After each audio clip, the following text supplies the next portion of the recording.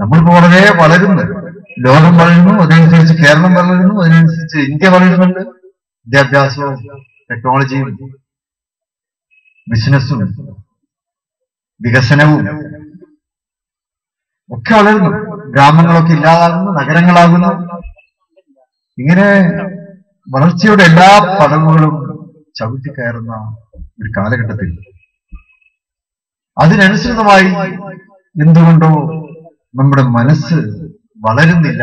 മനസ്സ് മുരടിച്ചു പോകുന്നു എന്നത് ഈ കാലഘട്ടത്തിന്റെ ഒരു ദുര്യോഗമോ ദുരന്തമോ ആയി തോന്നുകയാണ്. എന്തുകൊണ്ടാണത് എന്നാണ് നമ്മൾ വിലയിരുത്തേണ്ടത്? അതിനുവേണ്ടിയാണ് നമ്മൾ നമ്മുടെ ബഹുവന്യ നേതാക്കളും പ്രഭാഷകന്മാരുമായിട്ടുള്ള ആളുകളുടെ വാക്കുകൾ ശ്രവിക്കുന്നതിന് വേണ്ടി ഇങ്ങനെ ഒരു അവസരം ഒരുക്കിയിട്ടുണ്ട്. എന്തുകൊണ്ട് നമ്മുടെ മനസ്സ് ചെറുതാവില്ല നമ്മുടെ ലോകം വളരുന്നുണ്ട് മനുഷ്യൻ വളരുന്നുണ്ട് കുടുംബങ്ങൾ വളരുന്നുണ്ട് സമ്പത്ത് വളരുന്നുണ്ട്. പക്ഷെ മനസ്സ് വളരുന്നില്ല. മനസ്സ് ചുരുങ്ങിക്കൊണ്ടിരിക്കുന്നു. മനസ്സിന്റെ ഈ മുരടിപ്പ് ആ മുരടിപ്പാണ് ഇന്ന് സംശയങ്ങളുടെ വിഷവിത്തുകളായി അല്ലെങ്കിൽ ആ മുരടിപ്പ് സംശയങ്ങളുടെ വിഷവിത്ത് വളരുന്ന ഇടങ്ങളായി നമ്മുടെ മനസ്സിനെ മാറ്റുന്നുണ്ടോ എന്ന് നമ്മൾ ബുദ്ധിപൂർവം ആലോചിക്കേണ്ടിയിരിക്കുന്നു. സംശയങ്ങളുടെ വിഷവിത്ത് വളരാനുള്ള ഇടങ്ങളല്ല നമ്മുടെ മനസ്സ്. നമ്മുടെ മനസ്സ് ഹൃദയ വിശാലതയുടെ പുണ്യഭൂമികളായി മാറണം അതിന്റെ ഇടങ്ങളാണ് ഹൃദയ വിശാലതയുടെ വിശാല ഭൂമികയായി നമ്മുടെ മനസ്സുകളെ നമുക്ക് മാറ്റുവാൻ സാധിക്കും. അധികാരങ്ങളും രാഷ്ട്രീയങ്ങളും മാറി മറിയാം അതിനനുസരിച്ച് നമ്മുടെ മനസ്സിനെ മാറ്റിക്കൂടാ. ജനാധിപത്യത്തിന്റെ ഏറ്റക്കുറച്ചുകൾ ഏറ്റക്കുറച്ചിലുകൾ അതൊരു ജനാധിപത്യ സംവിധാനത്തിൽ സ്വാഭാവികമാണ്. അധികാരങ്ങളും പദവികളും എന്നും ഒരേ ആളുകൾ ഒരേ കക്ഷികൾ കൈകാര്യം കൈകാര്യം ചെയ്യണമെന്നില്ല. അപ്പൊ ജനാധിപത്യമാവുകയില്ലല്ലോ ജനാധിപത്യത്തിൽ അധികാരങ്ങൾ പദവികൾ മാറും വ്യക്തികൾ മാറും. സംഭവങ്ങൾ മാറും കക്ഷികൾ മാറും. പക്ഷേ എപ്പോഴും ധാർമ്മികതയും മൂല്യങ്ങളും മാറിക്കൂടാ എന്ന അടിസ്ഥാന തത്വം ആരും മറക്കരുത് എന്നാണ് ഞങ്ങൾക്ക് ആവശ്യപ്പെടുവാൻ. ഈ മതമൈത്രി സമ്മേളനത്തെ പാണക്കാട്ട് പാണക്കാട് സംഭവം സംഘടിപ്പിക്കുന്നതാകുമ്പോൾ എല്ലാവരും അതിൽ വലിയ താല്പര്യത്തോടെ തന്നെ കാണുന്നു എന്ന് ഞങ്ങൾക്കറിയാം ഇവിടുത്തെ പാരമ്പര്യം അതാണ്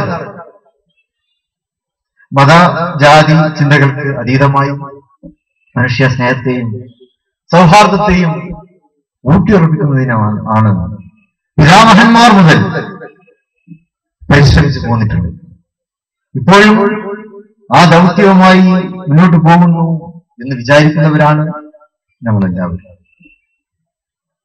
അത്തരമൊരു സന്ദർഭത്തിൽ ഞങ്ങൾക്കിടയിലെ പുതിയ തലമുറയിൽപ്പെട്ട ഇളം തലമുറയിൽപ്പെട്ട സഹോദരങ്ങൾ അവരുടെ ആലോചനയിലാണ് ഇങ്ങനെ ഒരു സംഗമത്തെക്കുറിച്ച് അവർ ചിന്തിക്കുന്നത്. അപ്പൊ അവർ അത് വളരെ പെട്ടെന്ന് തന്നെ പ്രാവർത്തികമാക്കുവാൻ മുന്നോട്ട് വരികയും ചെയ്യും. ഇവിടെ പ്രസംഗിക്കുന്ന മുഖ്യാതിഥികൾ അവരെല്ലാവരും അവരുടെ എല്ലാവരുടെയും വാക്കുകൾ ഇത്തരം സമ്മേളനത്തിൽ നമ്മൾ ഏറ്റവും കേൾക്കാൻ കൊതിക്കുന്നവരാണ്. ഡോക്ടർ അലക്സാണ്ടർ ജേബക്ക് അടുത്ത കാലത്തായി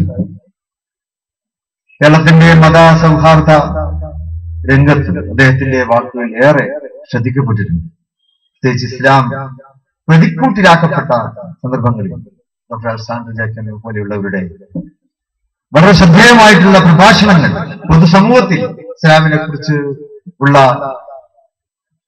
വിശാലമായിട്ടുള്ള കാഴ്ചപ്പാടിൽ മനസ്സിലാക്കുവാൻ വളരെയേറെ സഹായിച്ചിട്ടുണ്ട്. അതുപോലെ തന്നെ നമ്മുടെ ആലങ്കോട് ലീലാകൃഷ്ണനാവ് പ്രിയപ്പെട്ട ബഷീർ സാഹിബിടെ സൂചിപ്പിച്ച പോലെ നമ്മുടെ സ്വന്തം കവി എന്ന് തന്നെ വിശേഷിപ്പിക്കുന്ന അദ്ദേഹത്തിന്റെ വാക്കുകൾ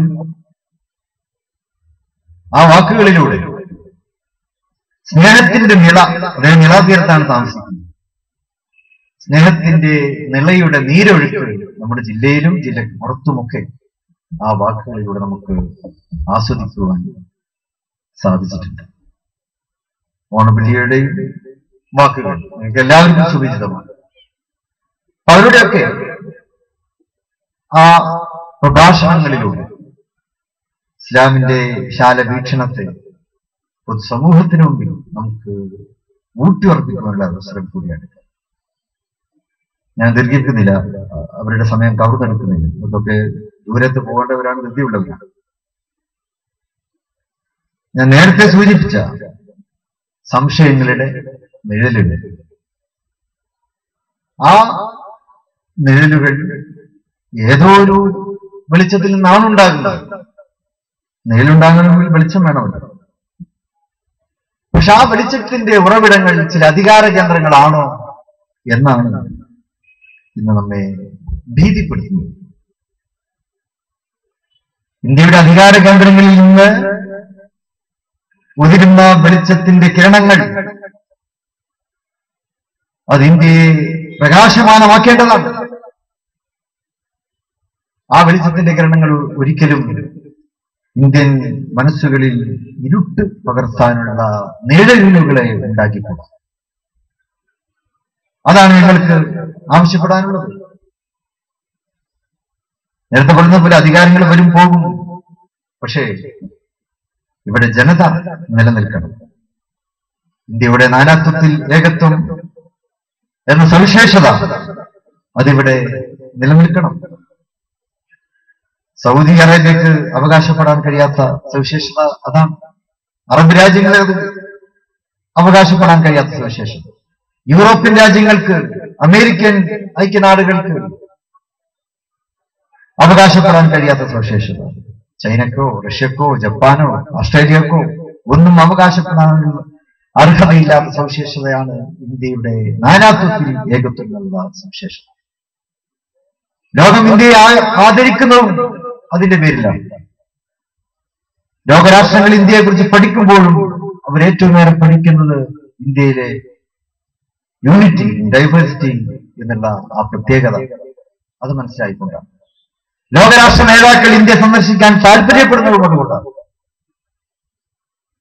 അങ്ങനെയുള്ള ഇന്ത്യ തലമുറകളെ തലമുറകളായി നമ്മൾ കാത്തു സൂക്ഷിച്ചു വരുന്ന ആ പൈതൃക സവിശേഷത എന്തിന്റെ പേരിലായാലും അതിനെ നമുക്ക് ഇല്ലാതാക്കിക്കൂടാ.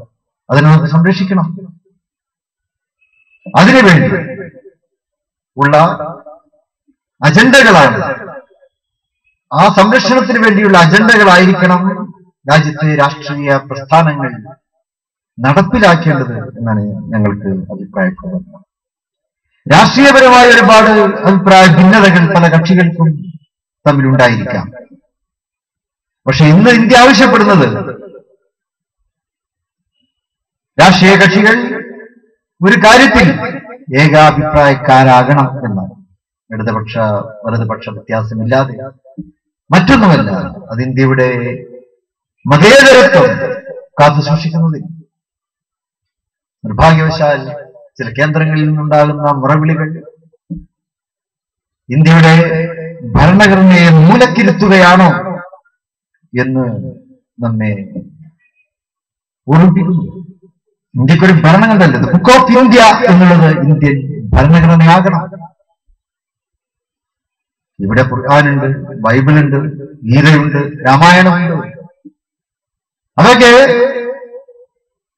ബുക്ക് ഓഫ് യൂണിവേഴ്സ് എന്നാണ് നമ്മൾ മനസ്സിലാക്കേണ്ടത്. ഇന്ത്യക്കാരുടെ മാത്രം ഗ്രന്ഥമല്ല. ഇന്ത്യയുടെ സ്വന്തം ഗ്രന്ഥം എന്നുള്ളത്. അത് ഇന്ത്യയുടെ ഭരണഘടന തന്നെയാകണം. The constitution of India should be the book of India എന്നത് നമ്മൾ ജനങ്ങൾ തന്നെ അത് ഏറ്റുപറയേണ്ടിയിരിക്കും നിർഭാഗ്യവശാൽ ചില അധികാര കേന്ദ്രങ്ങൾ അത് മറന്നുപോകുന്നു അവർ ഭരണഘടനയെ മൂലക്കിരുത്തുകയാണോ എന്ന് നമ്മൾ സംശയിക്കുന്നു. ഇന്ത്യൻ പൗരന്മാർ ആ ഭരണഘടനയെ തിരിച്ചു വിളിക്കേണ്ട സാഹചര്യം ഇവിടെ സംജാതമായിരിക്കുന്നു. എന്ന് ഓർമ്മിപ്പിക്കുവാൻ ഈ സമ്മേളനത്തിലൂടെ ഞങ്ങൾ ആഗ്രഹിക്കുകയാണ്. ആ ഭരണഘടന ഹിന്ദുവിനെയും മുസ്ലിമിനെയും ക്രിസ്ത്യാനിയെയും തുല്യ പരിഗണനയോടെ കാണുവാൻ പ്രാപ്തമാണ്. ആ ഭരണഘടനയ്ക്ക് രൂപം നൽകിയവർ വിശാല മനസ്കരായിരുന്നു ഡോക്ടർ അംബേദ് അംബേദ്കർ അദ്ദേഹത്തിന്റെ ആ വിശാല മനസ്സ് അതുപോലെ തന്നെ ഇസ്മായിൽ സാഹിബിനെ പോലെയുള്ള ആത്മീയ ബോധമുള്ളവർ. അവരൊക്കെ രൂപം കൊടുത്ത ഇന്ത്യയുടെ ഭരണഘടന ലോകത്ത് തന്നെ തുല്യതയില്ലാത്തൊരു ഭരണഘടനയാണ്.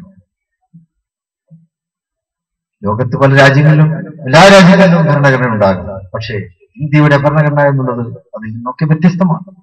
അത് വിശാലമാണ്. അത് മനുഷ്യത്വ പ്രേരിതമാണ്. കൊളോണിയൽ രാജ്യങ്ങളുടെ ഭരണഘടന ഒരു പക്ഷേ അടിച്ചമർത്തലിന്റെ ഭാഷയായിരിക്കാം അവയിലൊക്കെ ഉപയോഗിക്കപ്പെട്ടുള്ളത് അതുകൊണ്ടാണ് ബ്രിട്ടന് ഫ്രാൻസിന് റഷ്യക്ക് ജർമ്മനിക്ക് അമേരിക്കക്ക് ഒക്കെ തന്നെ അടിച്ചമർത്താനുള്ള ടെൻഡൻസി ഉണ്ടാകുന്നത് അതുകൊണ്ടായിരിക്കാം. എന്നാൽ ഇന്ത്യയുടെ ഭരണഘടന അത് മനുഷ്യമുഖമുള്ള ഭരണഘടനയാണ്. മാനവികതയാണ് അതിന്റെ ആത്മാവ്. അതുകൊണ്ടാണ് അതെല്ലാ ജനവിഭാഗങ്ങളെയും തുല്യ പരിഗണനയോടെ കാണുവാൻ തയ്യാറാകുന്നത്. ആ ഭരണഘടനയിൽ ഊന്നിയുള്ള പ്രവർത്തനം അതാണ് രാജ്യത്തിന് ആവശ്യം.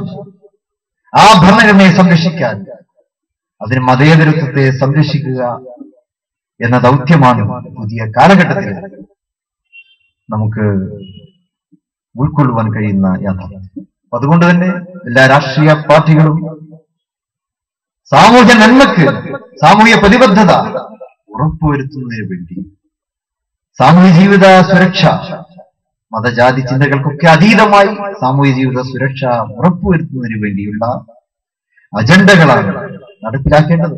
അതിന് ഒരുമിക്കുകയാണ് വേണ്ടത്. ജനങ്ങൾ ഒരുമിക്കണം. നമ്മൾ വിശ്വാസ പ്രമാണങ്ങൾ അത് ഒരിക്കലും തന്നെ നമ്മെ സങ്കുചിതരാക്കിക്കൂടാ. വ്യത്യസ്തമായിട്ടുള്ള വിശ്വാസ പ്രമാണങ്ങൾ അത് സാമൂഹ്യ ജീവിതത്തെ വികസിപ്പിക്കും. അതല്ലാതെ സാമൂഹ്യ ജീവിതത്തെ അത് തടസ്സപ്പെടുത്തും. ആ വിശ്വാസ പ്രമാണങ്ങളെ എല്ലാവരും അംഗീകരിച്ചുകൊണ്ട് തന്നെ ഓരോ ഇന്ത്യക്കാരനും അവന്റെ ശക്തിയെ തിരിച്ചറിഞ്ഞുകൊണ്ട് പ്രവർത്തിക്കുവാനുള്ള ആർജവം നേടിയെടുക്കും. അതിന് അവരുടെ മതവിശ്വാസം അവരെ അതിന് പ്രേരിപ്പിക്കും.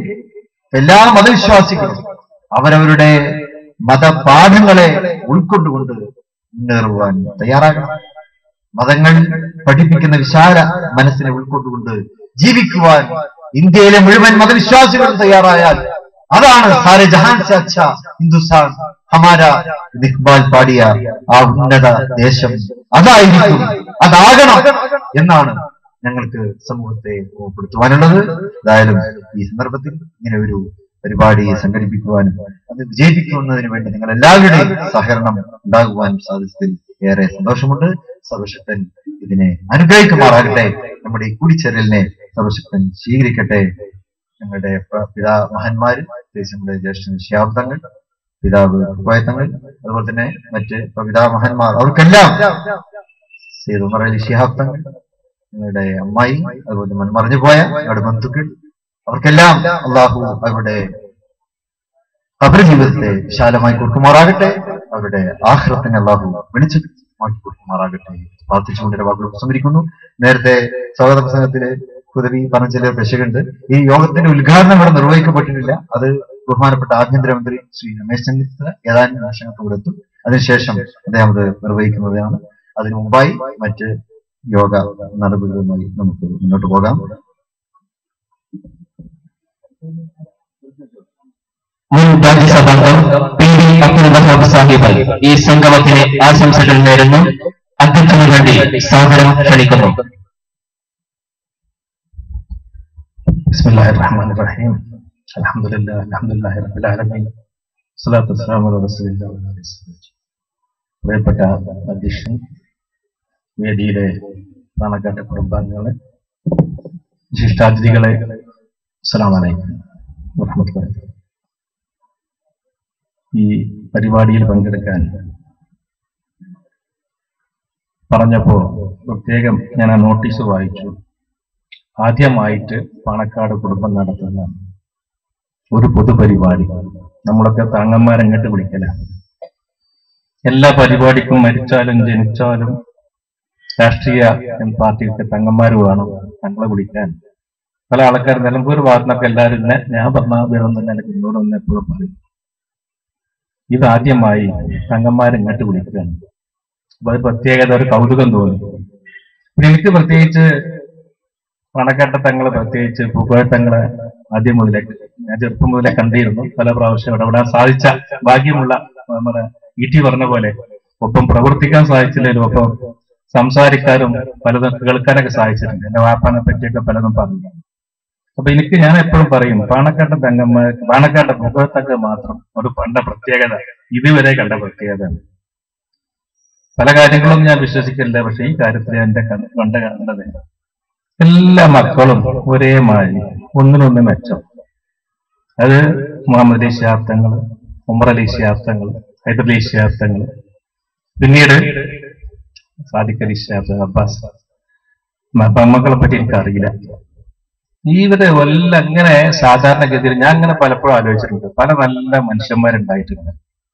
അപ്പൊ വലിയ നമുക്കൊക്കെ വലിയ നേതാവ് എന്ന് പറഞ്ഞ മഹാത്മാഗാന്ധി. പക്ഷെ അവരുടെ മക്കളൊക്കെ തലതിരിഞ്ഞിട്ട് വരും ഒന്നിനൊന്ന് വേറെ ജാതി അങ്ങനെ എങ്ങനെ നമ്മുടെ കൂട്ടത്തിലുള്ള ആൾക്കാരെ പറ്റി ഞാൻ പറയുന്നില്ല. കാരണം പല ആളും നല്ലതുണ്ട് പക്ഷെ ഇതെങ്ങനെ എങ്ങനെ ഒത്തു വന്നു എന്നുള്ളത് അത്ഭുതമായി ഇന്നും എന്റെ മനസ്സിൽ അവശേഷിക്കുന്നത് അങ്ങനെ തന്നെ തുടരട്ടെ എന്ന് ആത്മാർത്ഥമായി പ്രാർത്ഥിക്കുന്നു. സ്ട്രൈറ്റ് പാത്തിനെ പറ്റി അറിഞ്ഞു ഒരു സ്കൂളൊക്കെ നടത്തിയ ഒരാളാണ് ഞാനും. എനിക്ക് അസൂയ തോന്നുന്നു. ഇത്ര പെട്ടെന്ന് ഈ ഉദവികൾക്ക് ഇത്ര ഞാൻ പൊതുവെ ഒരു ഉദവിനെ നോക്കി കിട്ടിയില്ല എനിക്കൊരു ഉദവിനെ നമ്മളെ സ്കൂൾ ഞാൻ പലപ്പോഴും പറഞ്ഞു ഇത്രയൊക്കെ സ്വാതപ്രസംഗത്തിൽ പറഞ്ഞത് ഞാൻ അങ്ങനെ അന്തപ്പെട്ട് കേട്ടിട്ടുണ്ട് നമ്മളൊക്കെ ചെറുപ്പത്തിൽ ആഗ്രഹിച്ച് നമുക്ക് ഒറ്റയടിക്കുന്നതായിട്ട് പറയും.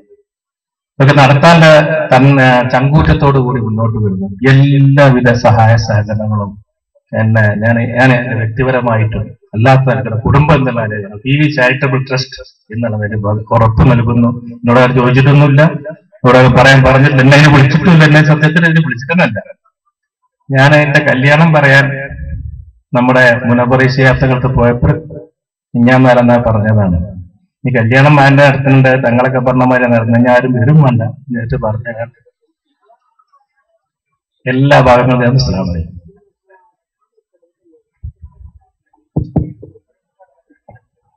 നിമിഷാർത്ഥത്തിന്റെ കൈപ്പിഴ കൊണ്ട് കൈവിട്ടുപോയ ജീവിതങ്ങൾ ജയിൽ ജീവിതങ്ങൾ ജന്മാന്തര പാപങ്ങളുടെ ഭാരം പുരണ്ടി വന്ന ഹതഭാഗ്യരുടെ മുന്നിൽ മാലാഖ പോലെ ഒരു മനുഷ്യൻ അതെ Alexander Jacob.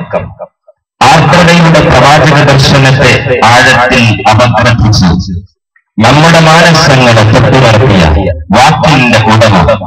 Shri Alexander Jacob I P എസിന് ഈ സമ്മേളനത്തിലേക്ക് സ്വാഗതം.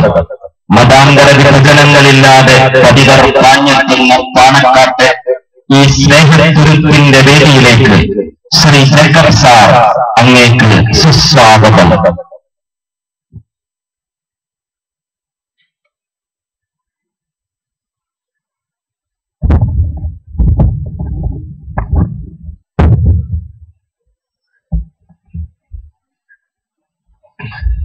വേദിയിൽ സദസ്സിലും ഉപവിഷ്ടരായ ശ്രേഷ്ഠ വ്യക്തികളെ ഈ വലിയ മൈതാനവും അതിന്റെ ചുറ്റുമായി അണിനിരന്നിരിക്കുന്ന പതിനായിരക്കണക്കിന് വരുന്ന ജനസഞ്ചയമേ എന്നെ വളരെ ദൂരെ ഇരുന്ന് വീട്ടിലിരുന്ന് കേൾക്കാൻ സാധ്യതയുള്ള ഈ ദേശത്തെ നാനാജാതി മതസ്ഥരായ നിവാസികളെ. പാണക്കാടിന്റെ ഈ പുണ്യഭൂമിയിൽ പരിശുദ്ധ പ്രവാചകൻ സമാധാനത്തിന്റെ കാവൽ മാലാഹ എന്ന വിഷയത്തെ ആസ്പദമാക്കി നടക്കുന്ന ഈ മതസൗഹാർദ്ദ സമ്മേളനത്തിൽ എത്തിച്ചേരാൻ കഴിഞ്ഞത് വലിയ ഭാഗ്യമായി ഞാൻ കരുതുകയും എന്നെ ഈ സ്റ്റേജിലേക്ക് ക്ഷണിച്ചതിന്റെ ഭാരവാഹികളോട് വലുതായ നന്ദി ഞാൻ രേഖപ്പെടുത്തുകയും ചെയ്തു പരസ്യ പ്രവാചകന്റെ ജീവിതം പഠിക്കുമ്പോൾ ഇതുപോലെ അത്ഭുതപ്പെടുത്തുന്ന ഒരു ജീവിതം ഒരുപക്ഷെ ഞാൻ വായിച്ച ഒരു പുസ്തകത്തിലും കണ്ടെത്തിയിട്ടില്ല. എ ഡി അഞ്ഞൂറ്റി എഴുപതിൽ ജനിച്ച് ആദ്യത്തെ നാൽപ്പത് വർഷക്കാലം നമ്മെ പോലെ തന്നെ ഒരു സാധാരണ വ്യക്തിയായി പരസ്യ പ്രവാചകൻ ജീവിച്ചിരുന്നു. എ ഡി അറുന്നൂറ്റി പത്തിൽ മാലാഹയിൽ നിന്ന് ദിവ്യ ദർശനം ഉണ്ടായ ശേഷം പന്ത്രണ്ട് വർഷക്കാലം ആ ദർശനം ജനങ്ങളോട് പങ്കുവച്ച് അദ്ദേഹം മക്കയിൽ ജീവിക്കുന്നു. എ ഡി അറുന്നൂറ്റി ഇരുപത്തിരണ്ടിൽ ഹിജറായുടെ വലിയ വർഷത്തിൽ പരസ്യപ്രവാചകൻ പ്രവാചകൻ മദീനയിലേക്ക് ഓടി പോവുകയാണ്. മക്കയിൽ നിന്ന് മദീനയിലേക്കുള്ള ദൂരം നാനൂറ്റി പത്ത് കിലോമീറ്റർ. കേരളത്തിന്റെ ഭാഷയെ പറഞ്ഞാൽ തിരുവനന്തപുരത്ത് നിന്ന് കോഴിക്കോട് വരെയുള്ള ദൂരം മക്കയിൽ നിന്ന് മദീനയിലേക്കുള്ള ദൂരം. ആ ദൂരം താണ്ടി ഏഴ് വർഷം മദീനയിൽ ജീവിക്കുന്നു. അതിനുശേഷം ഡി അറുന്നൂറ്റി ഇരുപത്തി ഒമ്പതിൽ പഴുസ പ്രവാചകൻ മക്കയിലേക്ക് തിരികെ വരുന്നു. മക്കയെ ശുദ്ധീകരിച്ച് ഉമ്രകൾ നടത്തി എ ഡി അറുന്നൂറ്റി മുപ്പത്തിരണ്ടിൽ അറുപത്തിരണ്ടാമത്തെ വയസ്സിൽ സ്വർഗാരോഹണം ചെയ്യുന്നു. ഈ അറുപത്തിരണ്ട് വയസ്സുള്ള ജീവിതത്തിൽ ഇരുപത്തിരണ്ട് വയസ്സ് മാത്രമേ ഉള്ളൂ. ദിവ്യ ദർശനം ലഭിച്ച ശേഷം അദ്ദേഹം ജീവിച്ചിരുന്ന കാലഘട്ടം. പക്ഷെ ആ ഇരുപത്തിരണ്ട് വർഷങ്ങൾ ലോക ചരിത്രത്തെ മാറ്റിമറിച്ചു എന്നുള്ളത് ചരിത്രം പഠിച്ച മഹാത്മാക്കൾ സർട്ടിഫൈ ചെയ്യുന്ന ഒരു അത്ഭുതമാണ്. അന്നോളജ ടോയൻ ബി അദ്ദേഹത്തിന്റെ വിശ്വപ്രസിദ്ധമായ പതിനായിരം പേജുള്ള അനാലിസിസ് ഓഫ് വേൾഡ് ഹിസ്റ്ററിയിൽ വളരെ കൃത്യമായി പറയുന്നത് പരിശുദ്ധ പ്രവാചകന്റെ ജീവിതം ലോക ചരിത്രത്തെ പുതിയ ഗതി മാറ്റി ഒഴുക്കിയ ഒരു ജീവിതമാണ് എന്ന്.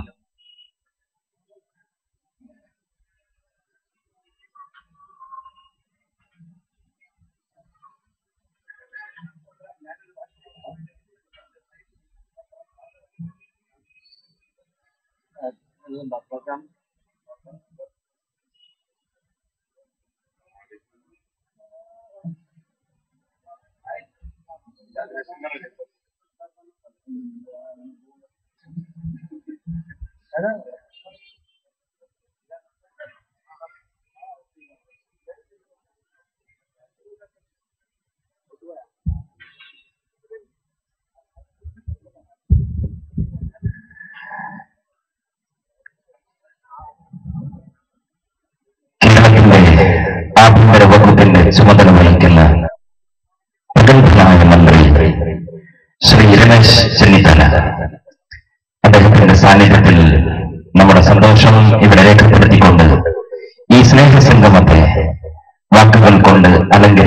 ആശീർവദിക്കാൻ പ്രിയപ്പെട്ട ശ്രീ രമേശ് ചെന്നിത്തലയോട് ആദരപൂർവം ഈ സംഗമത്തിന്റെ ഉദ്ഘാടന ഭാഷണം നിർവഹിക്കാൻ അധ്യക്ഷത വഹിക്കി. ക്ഷണിക്കുന്നു ഏറ്റവും ആദരണീയനായ സാധിക്കലി ശിവാർത്ഥങ്ങൾ ബഹുമാനായ D G P C Alexander Jacob ഈ വേദിയിൽ സന്നിഹിതരായിട്ടുള്ള മറ്റ് വിശിഷ്ട അതിഥികളെ പ്രിയപ്പെട്ടവരെ സുഹൃത്തുക്കളെ. ഇന്ന് വളരെ കൂടിയാണ് ഞാൻ ഈ ചടങ്ങിൽ പങ്കെടുക്കുന്നത്. നമ്മുടെ സമൂഹത്തിനും നമ്മുടെ രാജ്യത്തിനും ഏറ്റവും പ്രധാനപ്പെട്ട ഒരു തീമാണ് ഈ സമ്മേളനത്തിന്റെ പ്രധാനപ്പെട്ട ലക്ഷ്യമായി ഉയർത്തിപ്പിടിച്ചിട്ടുള്ളത് മതസൗഹാർദ്ദവും മതേതരത്വവും നമ്മുടെ രാജ്യത്തിന്റെ ജീവവായുവാണ്. ഇന്ത്യയെ പോലുള്ള ഒരു രാജ്യത്ത് വിവിധ ജാതികൾ മതങ്ങൾ ആചാരങ്ങൾ അനുഷ്ഠാനങ്ങൾ എല്ലാം നിലകൊള്ളുന്ന ഒരു രാജ്യത്ത് എല്ലാ വികാര വിചാരധാരകളെയും ഒരുമിപ്പിച്ച് മുന്നോട്ട് കൊണ്ടുപോവുക എന്നുള്ളതാണ് നമ്മുടെ കടമയും കർത്തവ്യവും. ഭാരതത്തിന്റെ ഭരണഘടനയാണെങ്കിലും പൗരാണികമായ നമ്മുടെ സങ്കല്പനങ്ങളാണെങ്കിലും എല്ലാം മതേതരത്വത്തിൽ അധിഷ്ഠിതമായ ഒന്ന് തന്നെയാണ്. അപ്പൊ അതിന് നേരെ ഉയരുന്ന ഏതൊരു വെല്ലുവിളിയും നമ്മുടെ സാമൂഹ്യ ജീവിതത്തെയും രാഷ്ട്രത്തിന്റെ മഹത്തായ അന്തസ്സത്തെയും തന്നെ ദുർബലപ്പെടുത്തുകയാണ് ചെയ്യുന്നത്. മതേതരത്വം ദുർബലപ്പെട്ടാൽ അതിന്റെ പ്രത്യാഘാതങ്ങൾ വളരെ വലുതായിരിക്കും. ആ ഒരു സാഹചര്യം അറിഞ്ഞോ അറിയാതെയോ ആരും ക്ഷണിച്ചു വരുത്താൻ പാടില്ല എന്നുള്ളതാണ് ഏറ്റവും പ്രധാനപ്പെട്ട കാര്യം. ഒരു മതവും മറ്റൊരു മതത്തെ ദ്വേഷിക്കാൻ പറയുന്നില്ല. ഒരു മതവും മറ്റൊരു മതത്തിനെതിരല്ല. ഒരു മതഗ്രന്ഥവും മറ്റൊരു മതഗ്രന്ഥത്തിനെതിരല്ല. എല്ലാ മതങ്ങളുടെയും മൗലികമായ ഉത്തരവാദിത്വം നൽകുന്ന സന്ദേശം മനുഷ്യരാശിയുടെ പുരോഗതിയും മാനവരാശിയുടെ ഉത്കർഷവുമാണ്. അത് മനസ്സിലാക്കിക്കൊണ്ട് പ്രവർത്തിക്കാൻ നമ്മൾക്ക് സാധിക്കേണ്ടിയിരിക്കുന്നു. ഓരോരുത്തർക്കും അവരവരുടെ വിശ്വാസ പ്രമാണങ്ങൾക്കനുസരിച്ച് ജീവിക്കാനുള്ള അന്തരീക്ഷം നമ്മുടെ രാജ്യത്തുണ്ട്. ഭരണഘടനയുടെ ഇന്ത്യൻ കോൺസ്റ്റിറ്റ്യൂഷന്റെ ആർട്ടിക്കിൾ ട്വന്റി ഫൈവ് അനുസരിച്ച് ഏത് മതവും ഏത് വിശ്വാസവും ഉൾക്കൊള്ളാനും അതനുസരിച്ച് ജീവിക്കാനുമുള്ള അധികാരം ഇന്ത്യയിലെ ഏതൊരു പൗരനുമുണ്ട്. അതുകൊണ്ട് തന്നെ വിവിധ മതങ്ങൾ മതവിശ്വാസങ്ങൾ. അതിനെല്ലാം സഹിഷ്ണുതയോടുകൂടി കാണുന്ന ഒരു പാരമ്പര്യമാണ് നമ്മുടെ രാജ്യം ഇത്രയും കാലം വളർത്തിയെടുത്തിട്ടുള്ളത്. അപ്പൊ മതപരമായ ഭിന്നത മതവിശ്വാസികൾ തമ്മിലുള്ള ഏറ്റുമുട്ടലുകൾ അതെല്ലാം നമ്മുടെ രാജ്യത്തിന്റെ മഹത്തായ താല്പര്യങ്ങളെ എതിരാണ് എന്നുള്ള വസ്തുത നമ്മൾ തിരിച്ചറിയണം. ദൗർഭാഗ്യവശാൽ ഇന്ന് പല ആളുകളും മതത്തിന്റെ പേരിൽ ജനങ്ങളെ ഭിന്നിപ്പിക്കാനും വിഭജിക്കാനും ശ്രമിക്കുന്നു. അത് ഒരു മതേതര രാജ്യമായ ഇന്ത്യയ്ക്ക് ഒരിക്കലും അനു അനുകൂലമായ ഒന്നല്ല. ഓരോ മതവിശ്വാസത്തെയും മത താല്പര്യങ്ങളെയും സംരക്ഷിച്ചുകൊണ്ട് അതാ അതാത് മതവിശ്വാസികൾക്ക് മുന്നോട്ട് പോകാം. അതിനാരും തടസ്സം നിൽക്കുന്നില്ല. പരിശുദ്ധ ഖുറാൻ തന്നെ അത് വളരെ വ്യക്തമാകും ഞാൻ വിശദാംശങ്ങളിലേക്ക് പോകുന്നില്ല. ഇസ്ലാം മതം സാഹോദര്യത്തിന്റെ മതമാണ് സ്നേഹത്തിന്റെ മതമാണ്. സ്നേഹത്തിൽ അധിഷ്ഠിതമായ ഒരു ജീവിതം കെട്ടിപ്പടുക്കുന്നതിനെ പറ്റിയാണ് ഇസ്ലാം മതം മുന്നോട്ട് വയ്ക്കുന്നത്. അതുപോലെ ഏത് മതമെടുത്ത് നോക്കിയാലും ആ മതങ്ങളെല്ലാം മനുഷ്യന്റെ പുരോഗതിയും മനുഷ്യന്റെ വളർച്ചയും മനുഷ്യന്റെ സമാധാനപരമായ സഹവർത്തിത്വമാണ് ആവശ്യപ്പെടുന്നത്. സമാധാനപരമായ സഹവർത്തിത്വം ഊട്ടി ഉറപ്പിക്കാൻ എല്ലാ മതവിശ്വാസികൾക്കും ഉത്തരവാദിത്വമുണ്ട്. അതാണ് ഏറ്റവും പ്രധാനപ്പെട്ട ഒരു കാര്യം. ഈ ലോകം മുഴുവൻ ശാന്തിയും സമാധാനവും നിലനിർത്താൻ വേണ്ടിയിട്ടുള്ള ഉത്തരവാദിത്വമാണ് ഇന്ന് നമുക്കുള്ളത്. നമുക്ക് കിട്ടിയിരിക്കുന്ന ഈ ഭൂമി നമുക്ക് കിട്ടിയിരിക്കുന്ന ഈ ഇന്നത്തെ ഈ അവസ്ഥ ഈ ജീവിതം അത് വരും തലമുറകൾക്ക് ഇതേപോലെ തിരിച്ചു നൽകാനുള്ള ഉത്തരവാദിത്വം നമുക്കുണ്ട്. അതാണ് നമ്മുടെ എല്ലാവരുടെയും ലക്ഷ്യം. ആ ലക്ഷ്യം മുൻനിർത്തിക്കൊണ്ട് പ്രവർത്തിക്കാൻ ഓരോ മതവിശ്വാസിയും മുന്നോട്ട് വരുമ്പോഴാണ് നാട്ടിൽ സമാധാനവും ശാന്തിയും നിലനിർത്താൻ കഴിയുന്നത്. ഇസ്ലാം മതം എന്നും അതിനുവേണ്ടി നിലകൊണ്ടിട്ടുണ്ട് എന്നുള്ളതാണ് ചരിത്രം നമ്മളെ പഠിപ്പിക്കുന്നത്.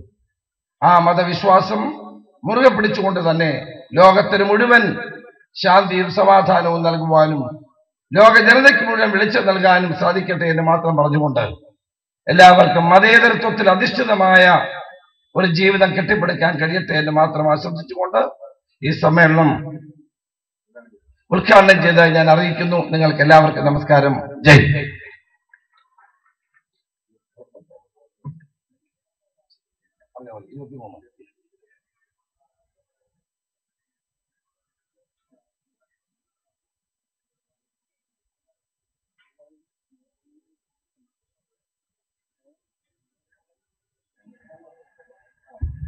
Shri Alexander Jacob I P S തുടരുന്നു. ലോക ചരിത്രത്തെ മാറ്റിമറിച്ച ഇരുപത്തിരണ്ട് വർഷങ്ങൾ. അർണോൾഡ് ജെ ടോയൻബി അദ്ദേഹത്തിന്റെ പതിനായിരം പേജുള്ള outline of analysis of world ഹിസ്റ്ററിയിൽ വളരെ വ്യക്തമായി ചരിത്രം എങ്ങനെ മാറ്റിമറിച്ചു എന്ന് രേഖപ്പെടുത്തിയിട്ടുള്ളതാണ്. ലോകത്തെ മാറ്റിമറിച്ച നൂറ് മഹത് വ്യക്തികളെ പറ്റി മൈക്കൽ ഹാർട്ട് അദ്ദേഹത്തിന്റെ വിശ്വപ്രസിദ്ധമായ ranking of the most influential people of the world എന്ന പുസ്തകത്തിൽ വ്യക്തമായി രേഖപ്പെടുത്തിയിട്ടുണ്ട്.